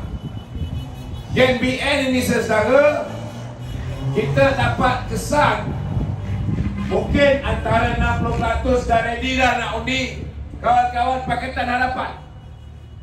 Dulu ada yang takut dengan YB Rara pun ada. Eh? Dulu yang takut dengan Lim Kit Siang, takut dengan Lim Guan Eng. Kita tak nafikan. Tak mudah. Jadi dalam kira-kira kita ni Memandangkan kita baru 6 bulan bersama tuan-tuan eh? Kadang-kadang kita kahwin saudara Ada masa 6 bulan 8 bulan pertama ni Mak mentua pun belum suka dengan isteri kita lagi Betul tak betul? Ini biasa Tapi lambat laun saudara Bila dia tengok menantu kita ni Eh, okey rupanya. Tak ada masalah pun. Tak ada ganggu pun tentang kedudukan orang Melayu. Tak ada ganggu pun tentang kedudukan Islam. Tak ada masalah. Maka insya-Allah saudara untuk pilihan raya umum 2016 eh, 2027 pilihan raya umum ke-16 kerajaan perpaduan akan menang dengan bergaya insya-Allah tuan-tuan. Tapi masalahnya lagi dua hari kita nak cerita tentang pilihan raya negeri. Kalau kawan-kawan daripada kerajaan perpaduan daripada AMNO BN khususnya boleh transfer undi mereka kepada kawan-kawan Pakatan Harapan. Sesedara bukan setakat tiga buah negeri ni tuan-tuan kita boleh menang. Negeri Kedah kita boleh dapat balik. Negeri Kelantan lebih mudah nak dapat daripada negeri Kedah dan negeri Tengganu juga kita boleh dapat itu sebab saya cakap tadi salah satu sebab yang kita kena ucap terima kasih kerana mulut YB Sanusi ini telah menyelamatkan banyak benda. Sebelum ni gelombang orang Melayu kat Selangor ni boleh tahan juga nak ikut-ikut gelombang hijau ni. Tapi hari ini tuan-tuan, bila mana Sanusi datang ke Selayang, dia dah lah pergi tempat orang. Dia pergi tempat orang, dia nak puji baginda Tuanku Sultan Kedah. Okey, tak ada orang marah.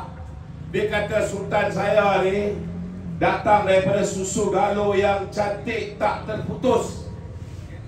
Tapi dia tambah ayat dia Tak macam sultan-sultan negeri lain Ah, Yang itu menyebabkan empat ke bawah duli tuanku tuan-tuan Murka Empat murka Tapi lepas tu dia sambung lagi Tak macam Sultan Hampa pergi lantik Menteri Besar Chokia Tak cukup inci Amir Masya Allah saudara ah, Itu yang tadi Wabi Rara kata Jagalah sopan santun Saudara Saya nak beritahu ni dekat Malaysia ni ada dua orang je boleh sebut perkataan bodoh ni. Satu Sanusi, nombor dua saya. Kita mulut tak ada lesen. Tapi walaupun kadang-kadang saya bodohkan dua tiga orang ni, ya, takkan sampaikan ke bawah duli tuanku yang eh, Sultan Negeri Selangor. Dia hina tuanku Sultan Selangor ni, tuan-tuan. Di tempat baginda tuanku. Saya nak beritahu saudara yang dia hina ni, dia cakap dia cakap susu galuh tak terputus macam Sultan Kedah, tak macam negeri lain. Maknanya apa tuan-tuan? Susu galuh tak terputus ni saudara, susu galuh cantik ni daripada sultan pertama turun kepada sultan kedua anak dia. Anak dia turun kepada cucu dia. Maknanya tak ada terputus. Tapi ada setengah tu keturunan dia daripada sultan pergi ke anak, anak tak ada zuriat. Maka berpindah pergi ke bendahara, berpindah pergi ke uh, Raja Lihilik. Ah ini yang dipanggil terputus. Bila dia cakap macam tu tuan-tuan, dia menghina sultan lain ni dikira susu galuh tak tak tak tak betul. Marahlah tuanku ni. Bila marah tuanku ni saudara, yang keluar ayat menghina baginda tuanku Raja-Raja Melayu ni, Sanusi. Yang murka ke bawah duli tuanku empat ni termasuklah ke, ke bawah duli Sultan Selangor. Dan yang membuat laporan polis bukan Lok Maga. Yang buat laporan polis bukan pemuda UMNO, pemuda amanah atau pemuda PKR. Yang membuat laporan polis ni tuan-tuan ialah Dewan Diraja. Mana pernah kita dengar Dewan Diraja ke bawah ni tuanku ataupun majlis raja-raja Sultan Selangor ni tuan-tuan buat laporan polis pernah? Tak pernah.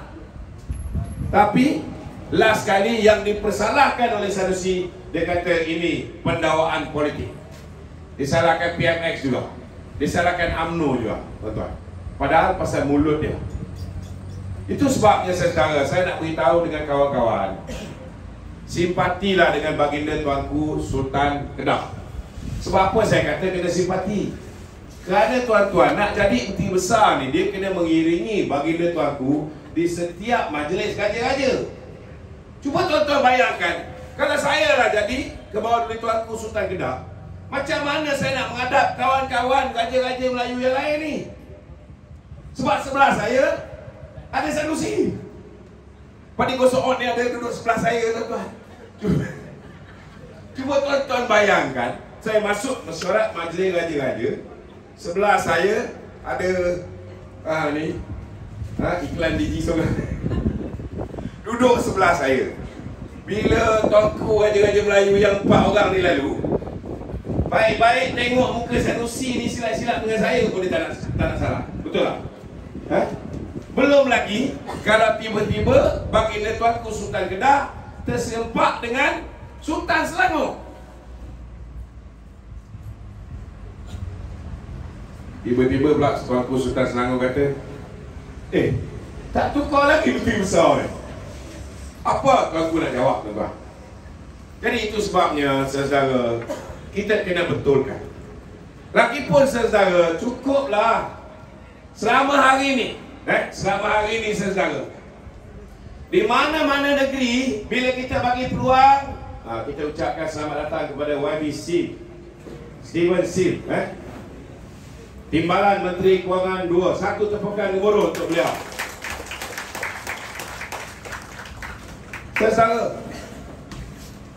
Lagipun tuan-tuan, selama hari ini kita bagi negeri mana pada negeri Kelantan baik eh, pada PAS negeri Terengganu baik pada PAS kita bagi kepada negeri Kedah pada PAS. Akhirnya saudara jahanam negeri tersebut. Dan dia ada satu penyakit-penyakit saya nak beritahu ni bukan COVID tapi jangkitan uh, wabak PAS ni lebih bahaya. Apa tak bahayanya tuan-tuan? 33 tahun dia perintah negeri Kelantan Kelantan mengidap penyakit tak ada air. Bila dia dapat negeri Kedah baru 3 tahun dengan Kedah pun tak ada air juga. Betul tak betul? Betul tak? Saudara, dia perintah negeri Kelantan, kita lihat tanah-tanah di negeri Kelantan habis digondolkan. Dia buat apa tuan-tuan? Dia buat aktiviti pembalakan. Eh? Lepas dia buat aktiviti pembalakan, dia keluarkan apa yang dipanggil sebagai eh, lombong emas. Habis berlubang-lubang. biji timah. Sekarang ni balak dah habis, eh, kawasan hutan dara dah tak ada. Kemudian kawasan Saki Baki Kayu pun dijual 2-3 kali. Tuan-tuan, hari ini kita lihat di negeri Kedah pun sudah menyakit penyakit yang sama. Eh, nak keluarkan balak, ada yang zaman Ustaz Azizan pun dah dikeluarkan. Saudara. Dan kemudian hari ini bila kawasan balak dah tak banyak, mereka dah mula tuan-tuan rembat apa yang dipanggil sebagai rare earth. Ha, hari ini saya nak cerita pasal rare earth ni tuan-tuan. Ramai orang tak tahu rupanya negeri Kedah ni negeri yang kaya raya. Kenapa saya kata negeri yang kaya raya? Pada tahun 2001 saudara, Menteri Besar Incorporated ha, yang dipengurusikan oleh Sanusi telah memohon dia mohon dengan kerajaan pusat untuk mencari mencari REE. REE ni Rare Earth Element. Dalam bahasa Melayu dia nadi bumi. Dia dapat kelulusan 2001 Januari untuk mencari siapa yang mohon. Menteri Besar Incorporated, CEO dia, orang PAS juga Sobri nama dia. Tetapi permohonan kepada Hamzah Zainuddin ni saudara untuk bawa masuk ha, dua tiga orang daripada negeri China termasuklah Mr. So yang hari ini ditangkap kerana mencuri nadi bumi ni ada surat lampiran daripada Sanusi jadi cerita Sanusi mengatakan bahawa dia tak tahu menahu satu pembohongan. Hari ini ada satu rombongan membuat siasatan lanjutan. Kita dah dapat gambar-gambar terperinci kawasan di Januari ni tuan-tuan. Eh? dan hari ini kita dapat tahu sekali lagi Sanusi menipu. Dia kata bahawa pencurian ini tidak berlaku di kompartmen 12 eh, yang MBI punya ni 11, 12, 13 rupa-rupanya hari ini baru tahu kecurian itu berlaku di dalam kawasan MBI itu sendiri di kompartmen 12 hari ini terdapat banyak lubang-lubang. Satu lubang ni saudara dia boleh gali 400 hari. Eh? lepas tu dia kena pindah lubang lain. Dia kena buat lubang dia kena cari. Dan kita lihat dalam masa yang sama mereka sudah ada solar farm di, di sana. Saya nak beritahu dengan tuan-tuan kita tak tahu menahu dia mencuri REE ni Mr. So dan kawan-kawan yang sewaktu dengannya ni kita tak tahu dia mencuri RE sebab ada pihak di belakang. Kenapa saya kata ada pihak di belakang? Ada satu perancangan yang cukup tersusun. Kerana saudara nak keluarkan, nak nak curi RE daripada kawasan Sanusi ni saudara, ada empat roblok. Ada empat roblok. Kalau orang tu tak penting saudara, boleh lepas tak nak bawa curi benda ni saudara? Tak mudah. Lepas tu Malaysia ini belum ada lagi AP untuk ekspor RE. Tak ada. Itu Wabi Nazmi dah sahkan. Tetapi tuan-tuan, dia orang boleh ekspor RE ni boleh sampai berapa negeri? Daripada Kedah lalu ke Perak, Perak lalu ke Selangor, Selangor sampai ke Port Kelang. Dia boleh ekspor tuan-tuan. Saudara tapi dia tak sebut benda tu REE dia sebut benda tu sebagai clay ataupun tanah liat. Ha, bila dia ekspor tu dia kata ini tanah liat. Ha, dia ingat semua orang dia boleh tipu tuan-tuan. Macam mana boleh boleh kantoi? Bulan September 2022 tiba-tiba salah satu lori yang bawa keluar ni saudara saya nak beritahu tuan-tuan lori ni accident dan di dalam lori tersebut ada 185 kampit. Satu kampit tuan-tuan ada lebih kurang 15.7 hingga 16 kilogram satu kampit. Tuan-tuan tahu tak satu kilo REE yang belum diproses ni berapa nilai dia? RM7,000. Satu kilo. Kalau satu kampit ada 15.7 kali dengan 185 kampit tuan-tuan. Saudara, nilai satu lori yang aksiden tu ialah 3.5 juta. Kita siasat hari ini kita dapati satu hari dia tak boleh keluar banyak. Dekat awal saya ingat 10 tuan-tuan. 10 lori. Rupanya kita dah dapat tahu dia dah ada masa-masa tertentu dia dah setkan supaya selamat perjalanan ni ada lima transaksi setiap hari. Lori dibawa keluar. Maknanya 5 lori kali dengan 3.5 juta kali dengan 365 hari saudara kali dengan 2 tahun dah benda ni berlaku. Maknanya rakyat negeri Kedah Darul Aman ni tuan-tuan hasil ri yang telah dicuri lebih kurang 12,777 juta ringgit. 12.77 bilion ringgit tuan-tuan. Saudara Kalau negeri Kedah ada kaya banyak macam ni tuan-tuan Duit ini masuk ke poket kerajaan negeri.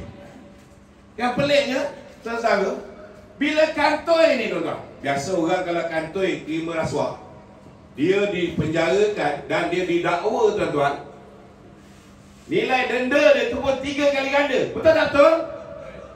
Tapi bila lori yang membawa muatan 3.5 juta ringgit ini bila dia tertangkap kerana aksiden tuan-tuan dia tak bagi alam sekitar di peringkat pusat untuk saman. Dia tak bagi sebab dia kata nanti duit masuk ke kerajaan pusat.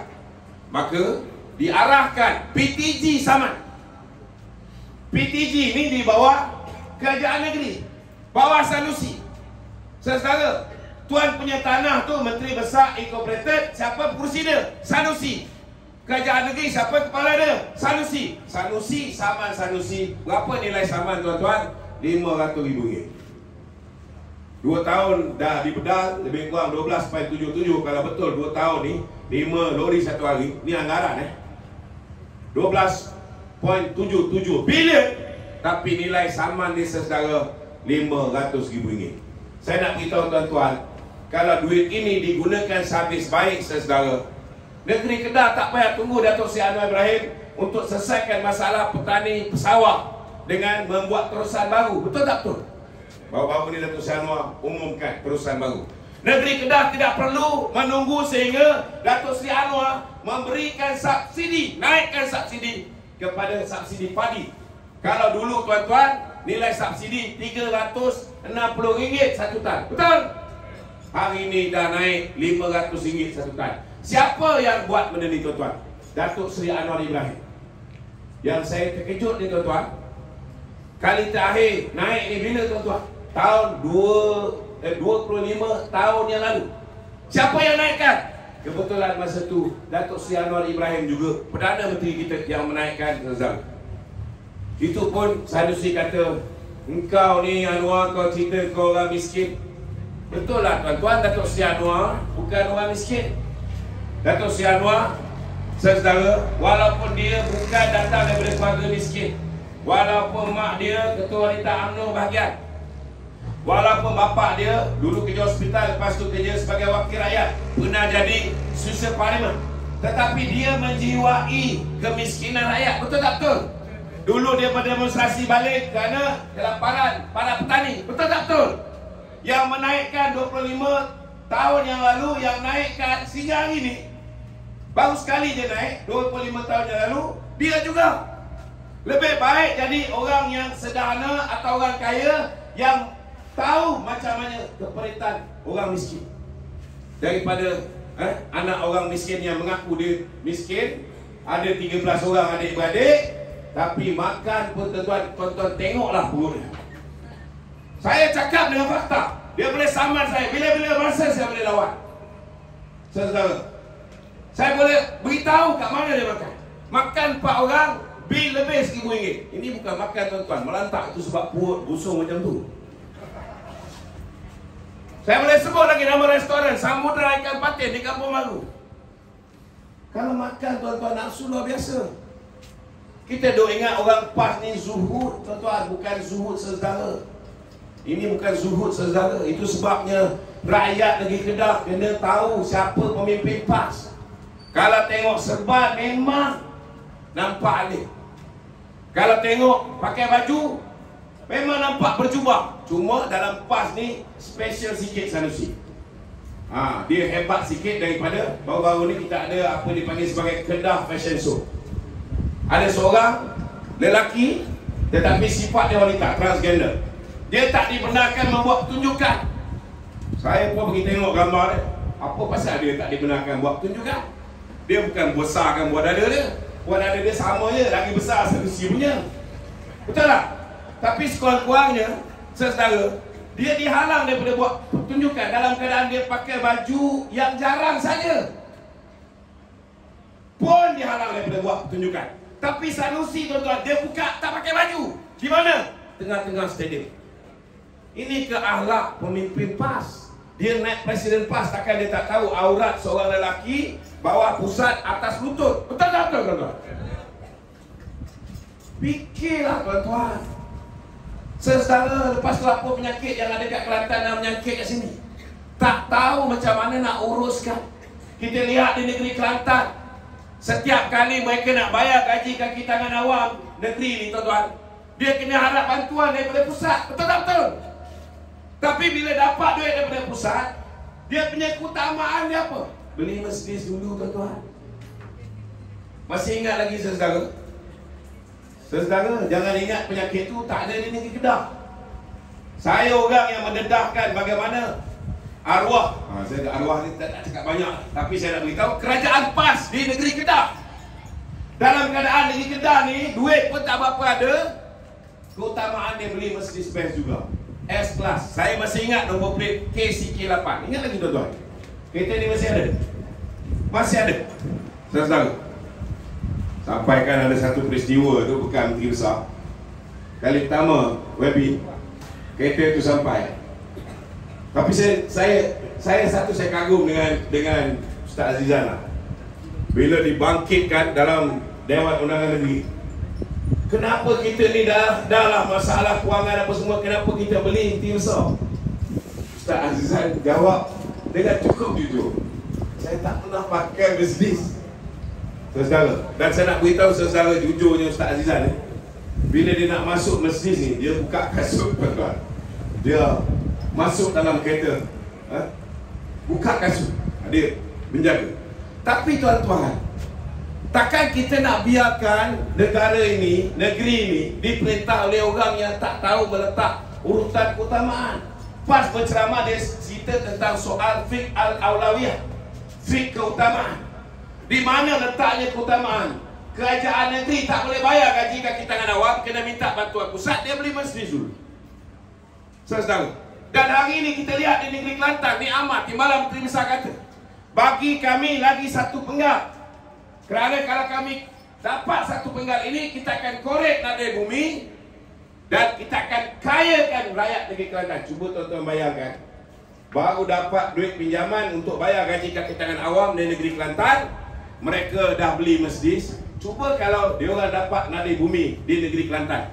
Maka semua esko kerajaan negeri akan naik Rolls Royce pergi kerja tuan-tuan. Ini akan berlaku. Jangan terkejut. Jangan terkejut saudara. Saya nak beritahu tuan-tuan Masalah yang sama juga berlaku di negeri Tengganu Di negeri Tengganu saudara Saya nak beritahu Kawan kita ni Dah habis dikeluarkan iron ore Dah habis dikeluarkan emas dan sebagainya Di negeri Tengganu, Kuali Apa dia buat? Tanah-tanah ni saudara Mereka paraikkan kepada kepimpinan dan juga orang-orang PAS Mula-mula apa dia buat? Saya ucapkan selamat datang kepada Tan Sri Amiruddin Badaruddin Pengurusi tetap UMNO Malaysia. Satu tepukan gemuruh untuk beliau. Saudara Zaman Haji Adi Dia dapat kuasa. Perkara pertama dia buat tuan-tuan Ada sekeping tanah dekat Kuala Tengganu ni saudara Tanah ni nilai dia 29.3 juta ringgit. Dia jual kepada koperasi Insaf Go Insaf Koperasi PAS. Dengan harga RM550,000 Bila tukar kerajaan Kerajaan BN rasa Ini lokasi sangat strategik Tengah bandar Kita kena ambil balik. Kerajaan BN beli balik. Beli bukan dengan harga RM550,000 Beli dengan harga 6.7 juta ringgit. Koperasi Insaf PAS ini tuan-tuan Dapat 6 juta lebih Macam tu je bila tukar kerajaan balik, dapat kat Samsuri. Kenal Samsuri tuan-tuan? Ha. Menteri Besar Auckland. Eh? Orang banjir, dia pergi ke Auckland. Sebelum pergi Auckland, dia dah pergi ke PPS, Pusat Pendapatan Banjir Sementara. Dia dah pergi dah. Dia dah tahu rakyat dia susah berhadapan dengan banjir. Sampai di Auckland, saya mengikuti benda ni tuan-tuan, detail. Sampai di Auckland, dia dah tahu sebab pegawai dia dah maklum. Yang Ahmad Muhammad, seorang dah meninggal dunia. Mangsa banjir yang pertama. Saya ingat dia akan balik lah. Saya teliti, saya tengok. Dia pulangkan kereta, dia pakai kereta, masa tu tak silap saya, dia pakai kereta SUV yang besar ni. Dia pulangkan kereta. Oh, saya cakap, dia selepas minggu dia balik. Rupa-rupanya tuan-tuan, dia pulangkan kereta, dia order satu kereta baru, dia sewa Porsche Macan. Kalau apa saya cakap ni tak betul, saya cabar di saman saya. Saya ada detail termasuk resit pembayaran. Order Porsche Macan. Saya saudara, cuba bayangkan, Menteri Besar, Menteri Besar ni saya nak beritahu tuan-tuan. Rakyat dia dah meninggal dunia kerana musibah banjir. Dia tak nak balik lagi. Dah tujuh hari, sambung lagi. Cukupkan sebelah hari, ngam-ngam tiket. Baru dia balik. Dan balik tak ada rasa langsung rasa bersalah. Kalau negeri Terengganu ni tuan-tuan, orang masih lagi undi. Ha? Pas di negeri Terengganu, saya cadangkan on the way balik 12 bulan depan mengundi tu, singgah 7-Eleven, beli racun tikus. Telan 2 biji cukup. Tak perlu jadi manusia, tak boleh berfikir dengan waras. Saya nak beritahu tuan-tuan, bawah Samsuri ni, tanah yang Haji Adi jual tadi tu, yang pas koperasi insaf dah untung 6 juta lebih. Samsuri jual kepada NGO milik isteri dia sendiri. Iaitu Khairul Nisa. Berapa nilai dia jual tuan-tuan? Lagi murah daripada dulu. Harga makin naik, 29.3 juta. Dia jual RM500,000. Kalau lepas ni tukar kerajaan, dia orang dah tak ada duit, Khairul Nisa boleh jual hampir 60 kali ganda boleh untung. Itu baru satu tanah. Satu tanah jual dua kali. Begitu banyak untung dia. Saudara ada tanah nilai 11.84 juta. Dia jual kepada koperasi khidmat yang juga terlibat pemimpin PAS. Kemudian ada sebuah tanah. Tanah ni saudara tapak yang cukup besar, 70 ekar. Tuan-tuan, 70 ekar nilai pasaran 14 juta ringgit. Dia jual berapa tuan-tuan? 70 ribu ringgit. Satu ekar, bukan satu ekar 70 ribu. Satu ekar 1 ribu. Saya nak tanya dengan tuan-tuan. Adakah, ada tak kat sini yang ni? Satu tanah boleh dapat harga RM7,000 eh, RM1,000 Ada tak? Tak dapat tuan-tuan. Kalau tanah sawah ni saudara Kurang-kurang RM100,000 Betul tak betul? Hari ni dah naik lagi Subsidi Lagi mahal nilai tanah tu. Jangan lupa. Sebab pendapatan akan lebih bertambah. Jadi saudara Kita kena pastikan 12 hari bulan ini Kita kena bulatkan tekad. Kita letak tepi Mungkin ada yang masih lagi tak boleh terima kerjasama kita dengan Pakatan Harapan. Saya nak beritahu dengan tuan-tuan. YB Anthony Luke sendiri telah menyatakan bahawa masa dia dengan PAS sendiri pun. Dan kalau kita tengok dalam uh, website dap.org.my Saudara, DAP telah menjelaskan di dalam website dia DAP at 50 mereka telah menyatakan saudara mereka akur tunduk hormat kepada apa yang terkandung di dalam perlembagaan this. Itu sebab bila Datuk Seri Zahid bertanya apa pendirian DAP berhubung kedudukan Islam sebagai agama persekutuan, berhubung kedudukan hak istimewa orang Melayu, kedudukan bahasa Melayu, bahasa kebangsaan, kedudukan raja-raja Melayu, jawapan YB Anthony Luke senapas kita hormati dan kita junjung apa yang termaktub di dalam perkara tiga perlembagaan persekutuan ini sesuatu. Cukup lancar dia jawab tuan. Maknanya apa? Selagi AMNO berada bersama dengan DAP, Amanah dan semua sekali 19 parti politik tuan-tuan. Keempat-empat perkara ni saya bagi jaminan pada tuan-tuan. Tidak ada mana-mana parti politik akan berubah apa yang telah dipersetujui. Kalau selepas ini mereka kata kita tak nak lagi Islam agama persekutuan atau mereka kata kita dah tak nak sistem diraja kita tak nak raja berperlembagaan kita nak tukar kepada republik percaya cakap saya tuan-tuan. Kita UMNO akan minta parti. Kalau ini keputusan parti kalau individu kita tahu kadang-kadang ada individu yang kepala tak berapa betul. Ha? kalau itu pendirian mana-mana parti politik daripada 19 parti ini kita akan minta supaya mereka tinggalkan kerajaan perpaduan. Kalau mereka tidak mau tinggalkan kerajaan perpaduan, saya bagi jaminan dengan tuan-tuan. UMNO akan tinggalkan kerajaan perpaduan ini tuan-tuan. Kalau empat perkara ini disentuh. Dan saya nak beritahu saudara, kawan-kawan kita hari ini mereka di bawah kepimpinan baru yang jauh lebih pragmatik. Cukup bertolak ansur. Mereka pun ada pengalaman saudara. 22 bulan jadi kerajaan disebabkan Mahathir highlight benda-benda yang menyebabkan orang Melayu marah, yang menyebabkan orang Islam marah. Akhirnya mereka hilang kerajaan. Betul tak? Jadi kita semua sama-sama belajar melalui kesilapan. UMNO pun ada kesilapan. Kita akan ubah yang mana yang tak betul kita buat, kita akan tukar kepada kebaikan. Kalau ada salah silap dulu kita tak jaga rakyat, tak cukup jaga. Lepas ni kita akan jaga dengan lebih baik. Dan kalau tuan-tuan setuju, pada 12 hari bulan ini kita kalih bagi sama. Maknanya segala apa yang kerajaan pusat nak buat di negeri Kedah ini kita akan dapat laksanakan dengan kerjasama kerajaan negeri. Saudara, kalau apa yang tuan-tuan tak boleh selesai di peringkat kerajaan negeri, wakil rakyat kita, saudara Paris, boleh bawa pergi ke kerajaan pusat untuk menyelesaikan masalah tuan-tuan. Itulah saudara yang akan berlaku sekiranya kerajaan negeri insya-Allah sama seperti mana kerajaan persekutuan.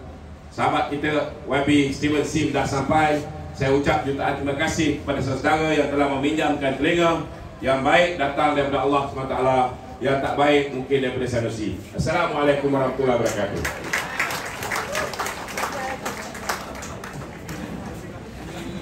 Kali pagi. Kali pagi. Kali pagi. Sama sekali majlis mengalu-alukan kehadiran YB Steven Sim dan juga Tan Sri Badaruddin Amiruddin kerana sudi hadir ke majlis kita pada malam ini.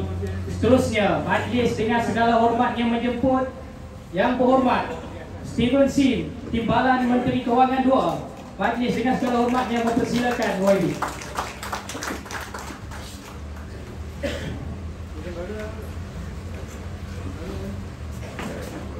Pengurusi tetap UMNO ada di sini. Saya mulakan dengan pantun. Masakan kita dicerai telah. Cintanya telah tumpu di hati. Masakan kita diurai pisah Pintalnya telah disimpul mati.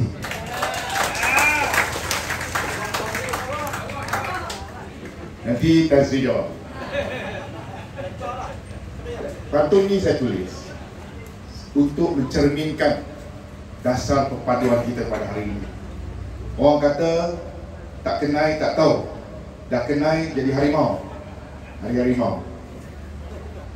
Tadi Datuk Loma Adam tak sangka saya boleh berkongsi pentas dengan beliau. Tadi dia ada kata kalau ada parti-parti dalam komponen perpaduan ini yang melanggar perlembagaan dia akan minta parti keluar dari Kerajaan Perpaduan. Saya setiausaha organisasi DAP. Pangkatnya kalau dalam UMNO setiausaha agung. Sebab setiausaha agung kita Anthony Lok dia pangkatnya presiden parti. Jadi saya setiausaha organisasi. Lepas Anthony Lok saya. Saya nak habaq di sini Datuk Lok Muhammad Adam. Jangan kata saudara kalau ada parti komponen dalam perpaduan yang melanggar perlembagaan persekutuan saya akan halau dari kerajaan kepada. Saya masuk Kedah bukan nak cari gaduh. Bukan nak cari gaduh. Saya sebab saya untuk saya Kedah dan Penang saya orang Penang, Bukit Bertajam. Tadi saya datang dari Penang. Kedah dan Penang asalnya kita satu keluarga besar di bawah Malaysia. Setuju atau tidak? Masalah sekarang dalam politik hari ini ialah ada puak yang nak pecah belahkan kita. Dia tak cukup sekadar beza-bezakan kita. Hampa Melayu, saya Cina, dia India. Sekarang dia nak beza-bezakan kita antara negeri. Hampa Kedah, saya Penang. Sedangkan Cina, Melayu, India, Sabah, Sarawak, orang asli, Kedah, Penang, kita semua rakyat Malaysia. Setuju atau tidak? Jadi pilihan kita hanya dua sekarang nak perpecahan ataupun nak perpaduan. Perpecahan boleh. Dah lebih 60 tahun kita berpecah. Dah hujan so boleh datang dekat sikit. Ha, masuk kemah sebab nampak ramai sikit. Sebab ramai sebenarnya tapi dia duduk jauh. Dah lebih 60 tahun kita merdeka, kita bentuk Malaysia. Sampai bila kita nak bergaduh? Lepas kita jadi kerajaan di bawah perpaduan ini, di bawah tema dasar perpaduan ini, saya tengok sebenarnya pelabuh-pelabuh asing yang dulunya zaman Tan Sri Muhyiddin Yassin. Saya panggil dia Tan Sri sebab saya hormat orang lama dalam politik. Ha, Tan Sri. Tan Sri Muhyiddin Yassin, dia ada hati cakap kat Datuk Seri Anwar, hang tak tahu jadi Perdana Menteri. Saya nak ingatkan, saya rasa orang-orang yang ni, orang Kedah ni masih ingat lagi. Zaman Tan Sri Muhyiddin Yassin jadi Perdana Menteri, zaman Perikatan Nasional jadi kerajaan. Zaman itulah kerajaan gagal uruskan pandemik. Setuju atau tidak? Lebih 30 ribu rakyat Malaysia meninggal dunia. Zaman itu juga kerajaan gagal menguruskan ekonomi. Setuju atau tidak? Rakyat tak ada kerja. Hilang kerja, bisnes-bisnes kena gulung tikar. Dan zaman itulah apabila Tan Sri Mahyudin Yassin jadi Perdana Menteri, rakyat terpaksa kibar bendera putih. Masih ingatkah rakyat Kedah? Ingat lagi ke rakyat Kedah? Takut lupa. Sebab sekarang mereka kata PN best. Aku duk fikir apa yang best sangat. Rakyat miskin.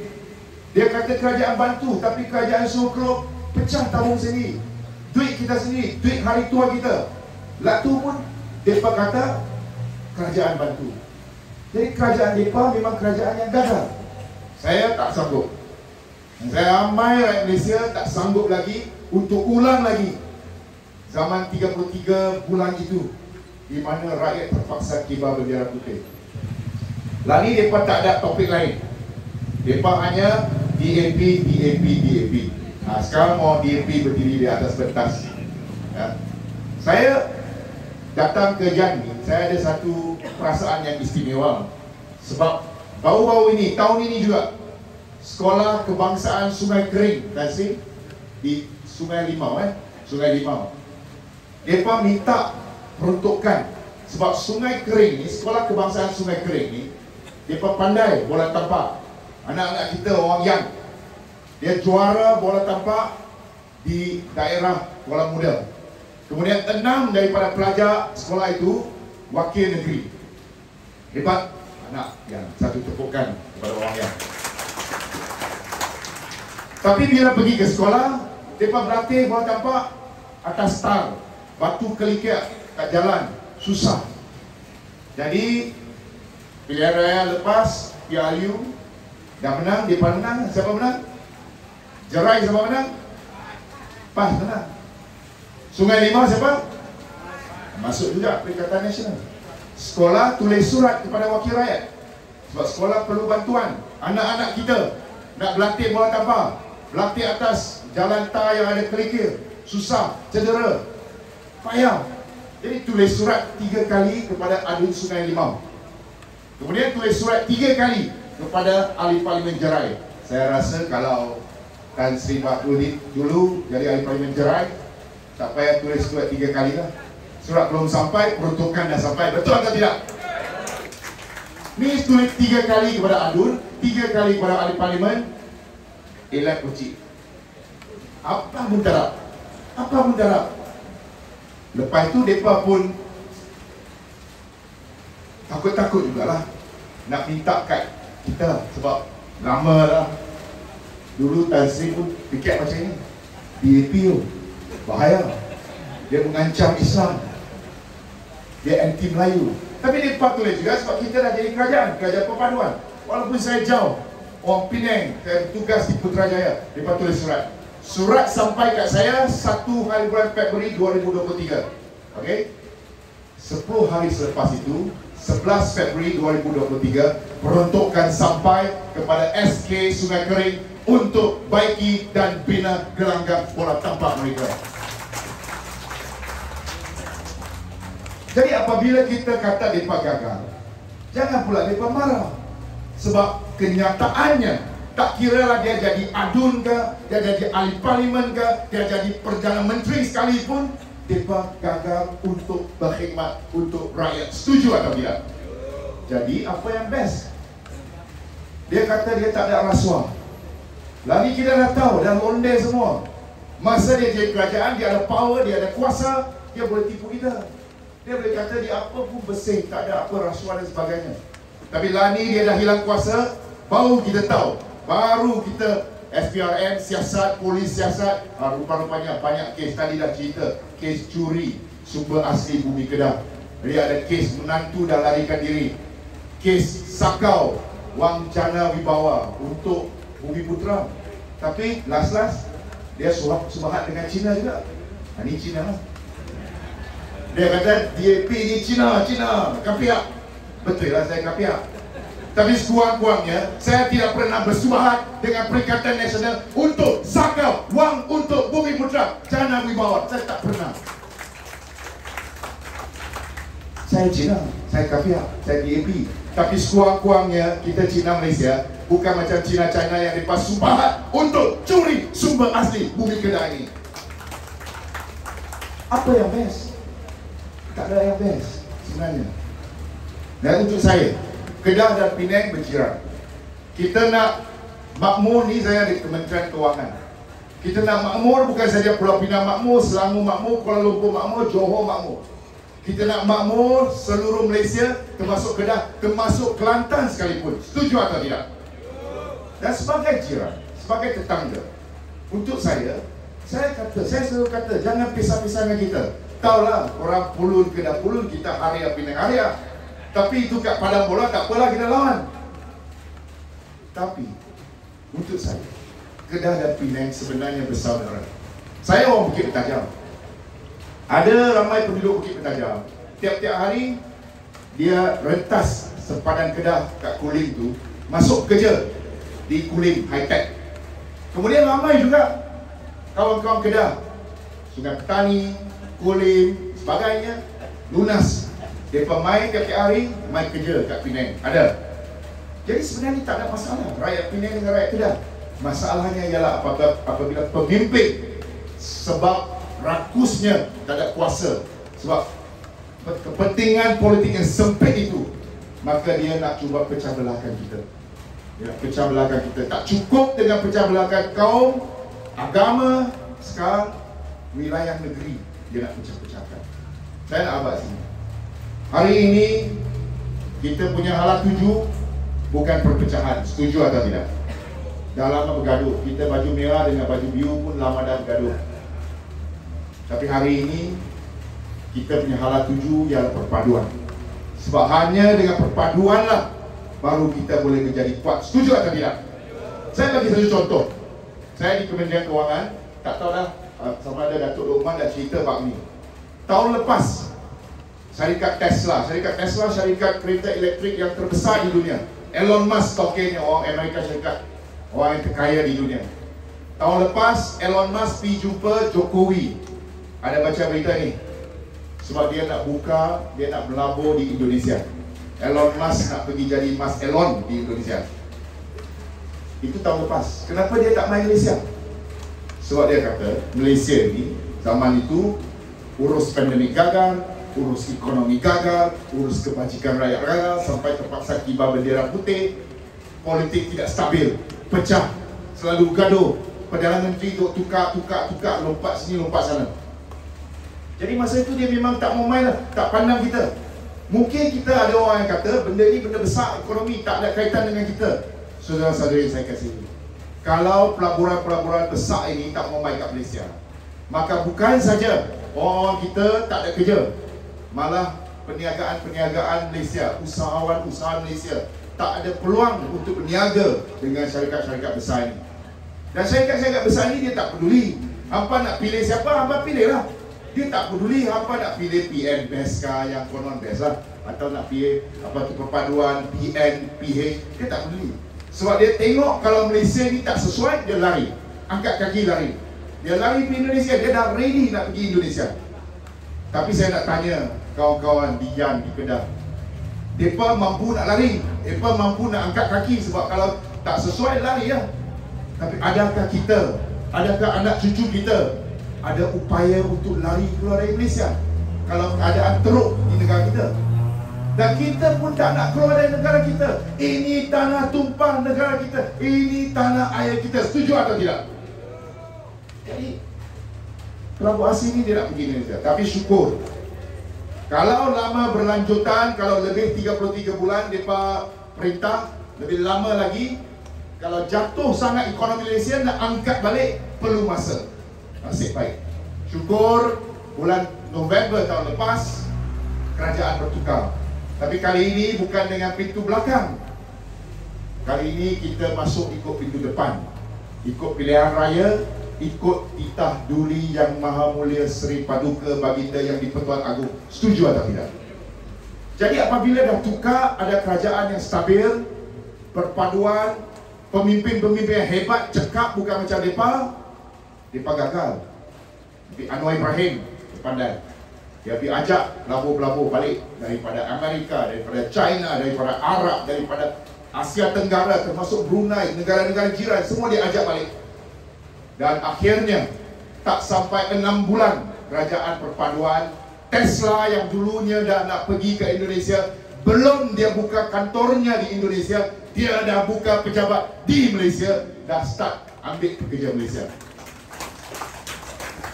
itu pentingnya perpaduan Kenapa kita duk kata perpaduan, perpaduan, perpaduan?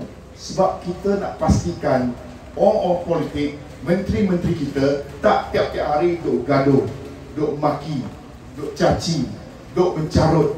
Tapi fokusnya ialah untuk menjaga rakyat. Setuju atau tidak? Lah ni, saya dah kata, mereka tak ada modal lain, Tan Sri. Dia, macam pula saya dalam perhimpunan UMNO. Tan Sri kena dapat satu mic lah, supaya dia boleh jawab balik.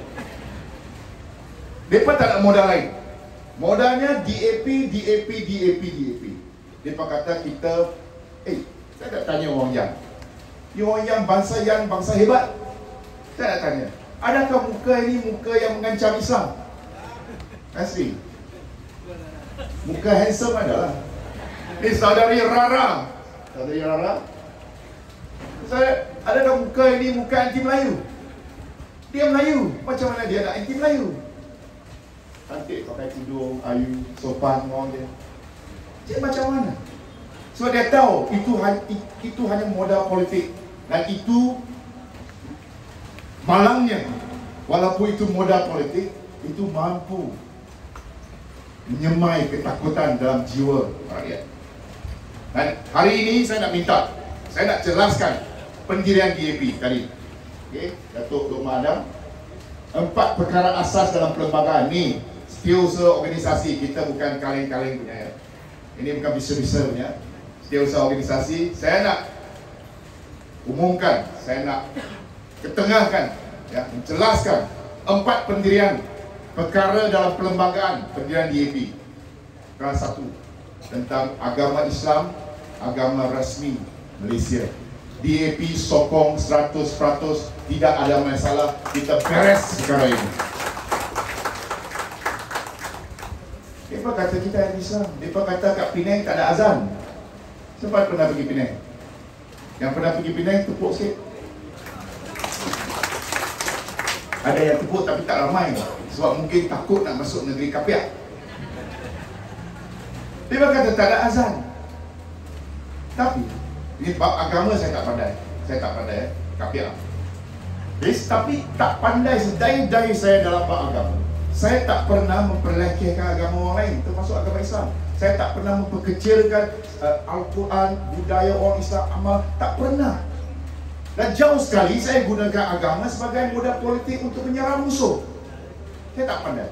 Tapi saya kenal Mufti Pelis Dr. Mazat kenal ya, beliau orang BM sebenarnya Kampung Mumpang Mufti bagi tahu saya di Malaysia ini ada dua buah negeri di mana azan subuhnya dua kali. Ada banyak tempat lah tapi yang resminya dua buah negeri.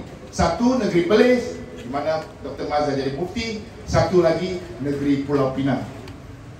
Pulau Pinang azan subuh pun dah ada dua kali, mereka kata tak ada azan. Macam mana?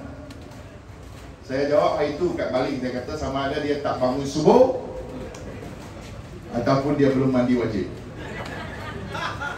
Asik?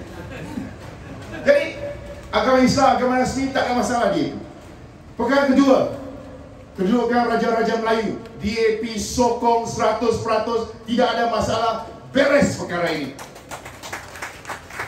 Dan demi untuk menjunjung tidak titah Duri Yang Maha Mulia Seri Paduka Baginda yang dipertolong agunglah DAP Pakatan Harapan dengan Barisan Nasional kita bergabung. Sebab ini titah tuanku. Tuanku dan atas kebijaksanaan baginda dia sedar.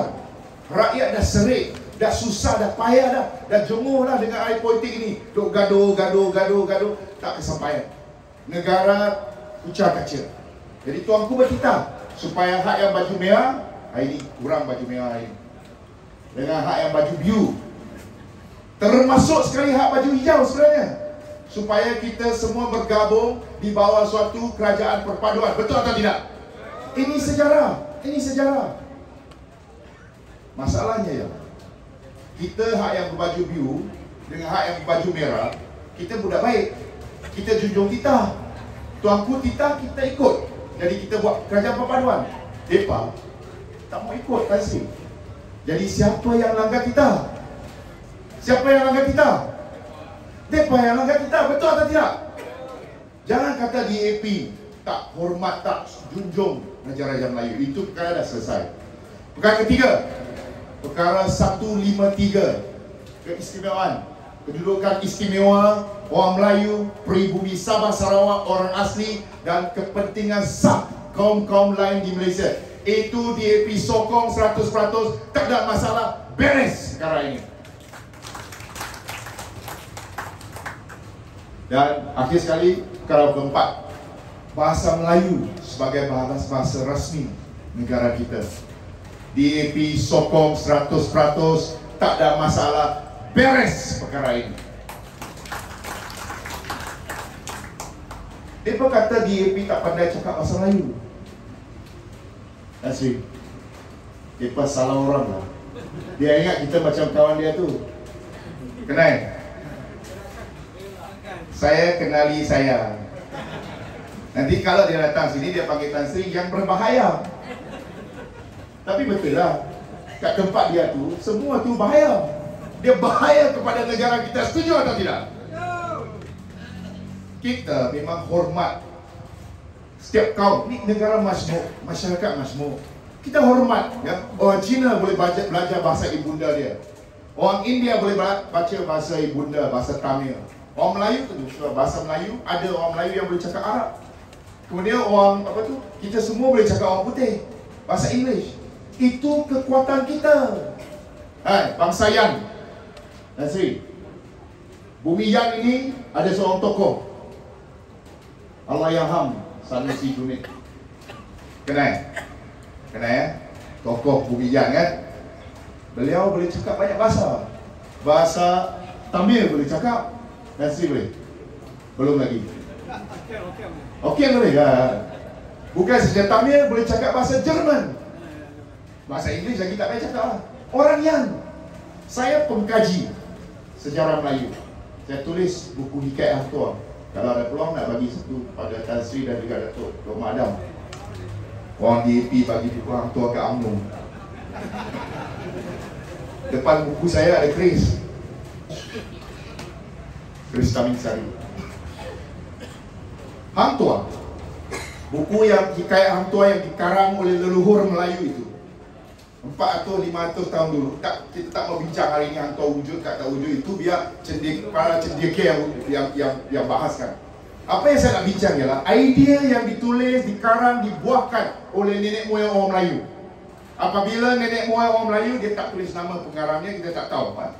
Tapi apabila beliau tulis membayangkan seorang wira Melayu yang hebat namanya Hang Tua apa sifat-sifat Hang Tua betul pandai silat agama bagus semua okey. Tapi ada satu perkara yang mungkin orang ramai tak tahu. Saya tulis dalam buku saya. Hang Tua pandai cakap 12 bahasa. Itu kehebatan orang Melayu di bumi Melayu ini di tanah Melayu ini jadi kita hormat dan kita tengok, kita perlu anggap kemajmukan ini sebagai kekuatan kita. Jangan kata, ah, tak boleh belajar bahasa ibunda, jangan cakap bahasa Cina, bahasa Tamil. Ada orang Melayu yang cakap bahasa Cina.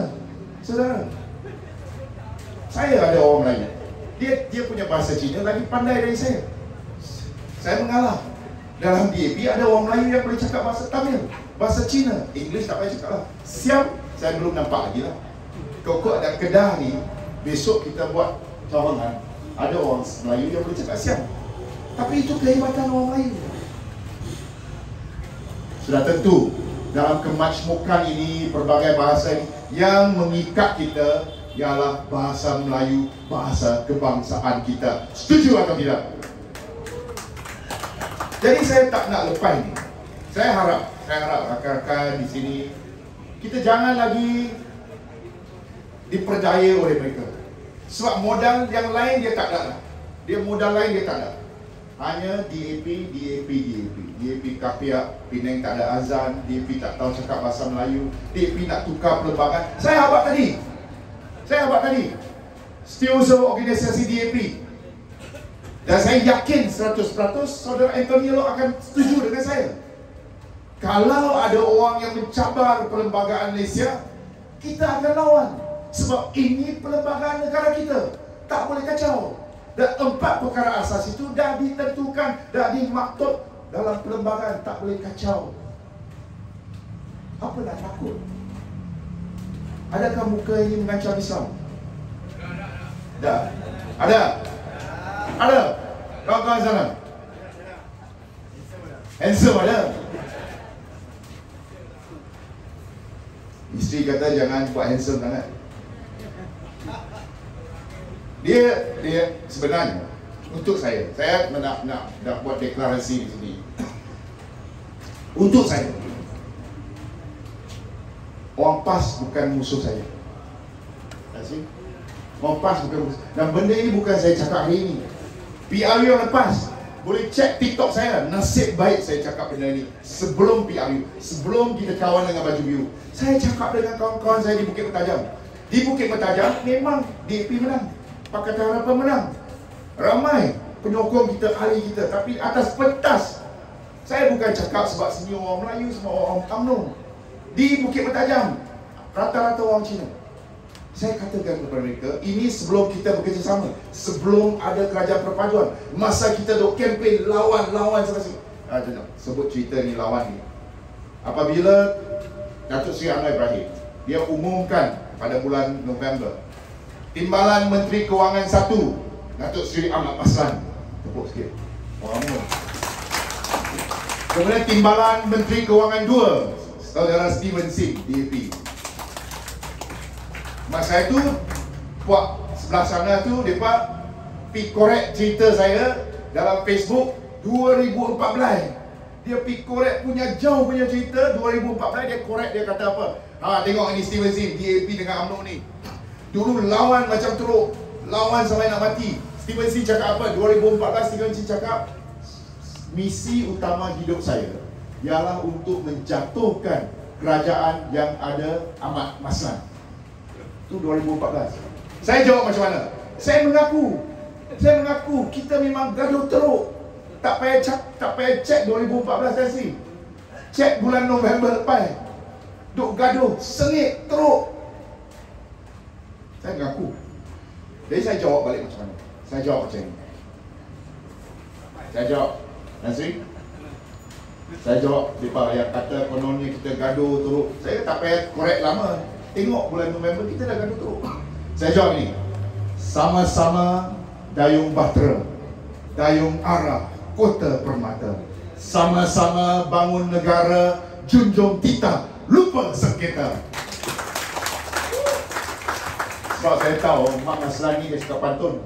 Jadi itu hadiah pertama saya apabila kita mula diumumkan sebagai rakan sejawatan dalam Kementerian Kewangan.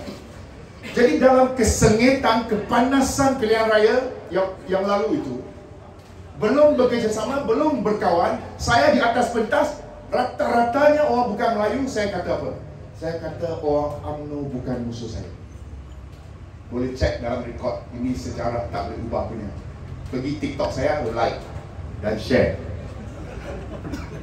Saya dan saya nak kata juga orang PAS bukan musuh kita. Setuju atau tidak?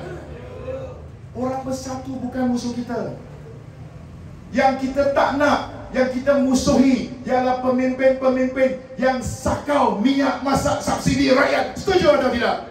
Yang kita musuhi ialah pemimpin-pemimpin yang bersubahat tak kira Melayu Cina curi hasil bumi negeri Kedah ini. Setuju atau tidak? Bersubahat untuk curi dana-dana dalam program Jana Wibawa. Setuju atau tidak? Itu yang kita tak nak. Tapi orang PAS bukan musuh kita. Dan kita nak jemput. Kita nak jemput. Semalam saya di Kelantan. Ah, dua hari lepas saya di Kelantan. Semalam saya di Kedah. Saya tiap-tiap hari main Kedah. Sayang saya kepada orang Kedah. Bagi tepuk sikit semangat. Nak balik ini satu jam. Dua hari lepas saya di Kelantan. Dan saya boleh bagi tahu di sini, boleh tengok TikTok, boleh tengok video Rakyat Kelantan berkumpul di Kota Baru lebih kurang 10,000 orang. Melayu kebanyakannya. Ini satu tepukan kepada rakyat Kelantan. Yang inginkan perubahan. Saya bagi tahu, saya tak musuhi PAS. Malah saya sayang ada tokoh-tokoh PAS. Contoh almarhum Tok Guru Nik Aziz. Di Kelantan saya bagi cerita. Saya kata 10 tahun lalu 2012 saya pergi ke Kelantan. Masa itu saya belum jadi YB lagi YB adalah sikit gelaran sikit YB Timbalan Menteri Kewangan adalah sikit. Belum sampai lagi tahap jadi pengurusi tetap lagi. Itu tahap tahap ini wali makam dia lagi besar. Saya tepukan kepada Tan Sri. Masa itu saya belum jadi YB belum jadi wakil rakyat orang muda. Sekarang pun muda lagi. Muda lagi. Tapi masa 10 tahun lepas lagi lah muda saya bawa kereta dengan dua orang kawan. Bawa kereta berjam-jam pi sampai Kelantan. Tak ada program, tak ada apa. Pi Kelantan nak buat apa? Saya pi kat Pulau Melaka. Pulau Melaka ada apa? Ada Tok Guru Kita kat orang Penang, orang muda setahun jagung dalam politik Masa itu kita ada nunjau di sana di Kelantan Ada seorang tokoh Tok Guru ulama tersebut. Saya nak pergi tengok. Saya tak ada appointment dengan beliau. Bawa kereta, pi sampai uh, rumah Tok Guru Duduk kat luar tak tahu nak buat apa sebab tak ada appointment. Masa itu Tok Guru pangkat dia apa? Menteri Besar. Menteri Besar. Jadi kita tak ada appointment. Saya pun takut kot-kot nanti kena halau nanti cawangan khas ada UTK ada nanti serbu saya sebab saya langgar. Dia tunggu kat luar. Nak pergi bagi salam tak boleh kita kapiak.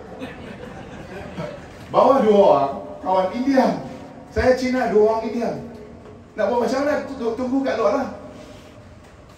Tunggu punya tunggu, tiba-tiba Tok Bu jalan keluar dari masjid. Tepi rumah dia ada masjid. Keluar.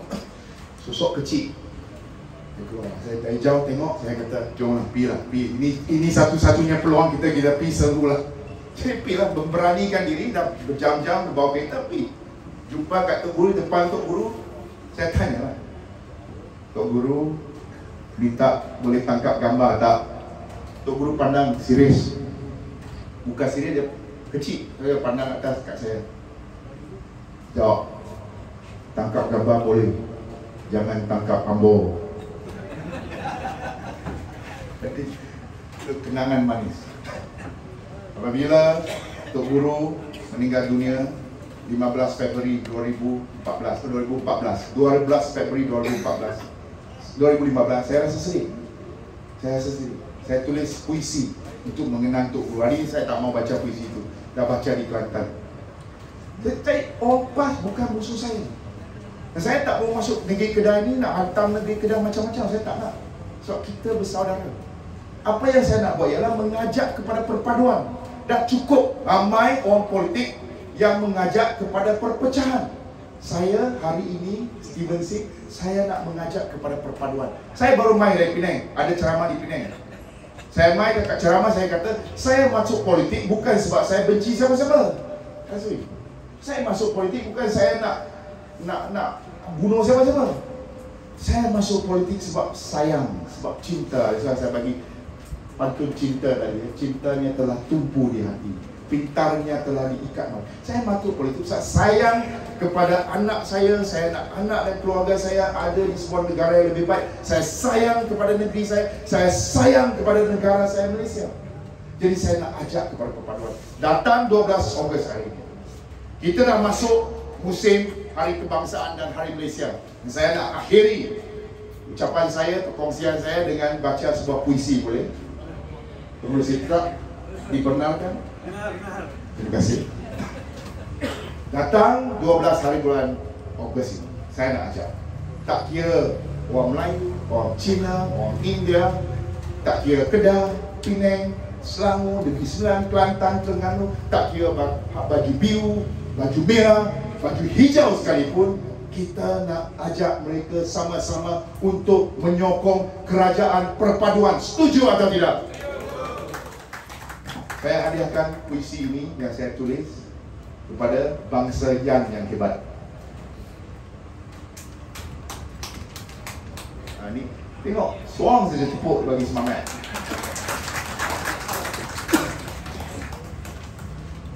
Belum hafal. Bulan Nazri? Okey. Dah dapat ni permit. Jalan terus, jalan terus. Eh, hey, video dah ready. Mana TikTok dia? Ambil kamera buat TikTok dia. Hari dah ada. Rayahku hitam, kalbuku raksa. Ku rela sakit demi sumpah setia. Ayahku watan, ibuku bangsa. Ku rela bangkit demi mu Malaysia. Kerisku, oh Dewi cakap keris. Kerisku Tamin Sari, Taminku Tuhan. Melawan penjarah dan penderhaka. Bentengku Kinabalu, kubuku tahan. Menumpah darah di tanah pusaka. Nyawaku serah, kudratku ribat. Merela abdi kepada Malaysia. Jiwaku tua, sukmaku jebat Membela nusa menyangga aniaya Jiwaku haus merindukan perpaduan Dalam kegesangan khianat melanda. Namun ku tahu Selagi nyawa di badan Selagi itu harapan masih ada. Sekian, terima kasih.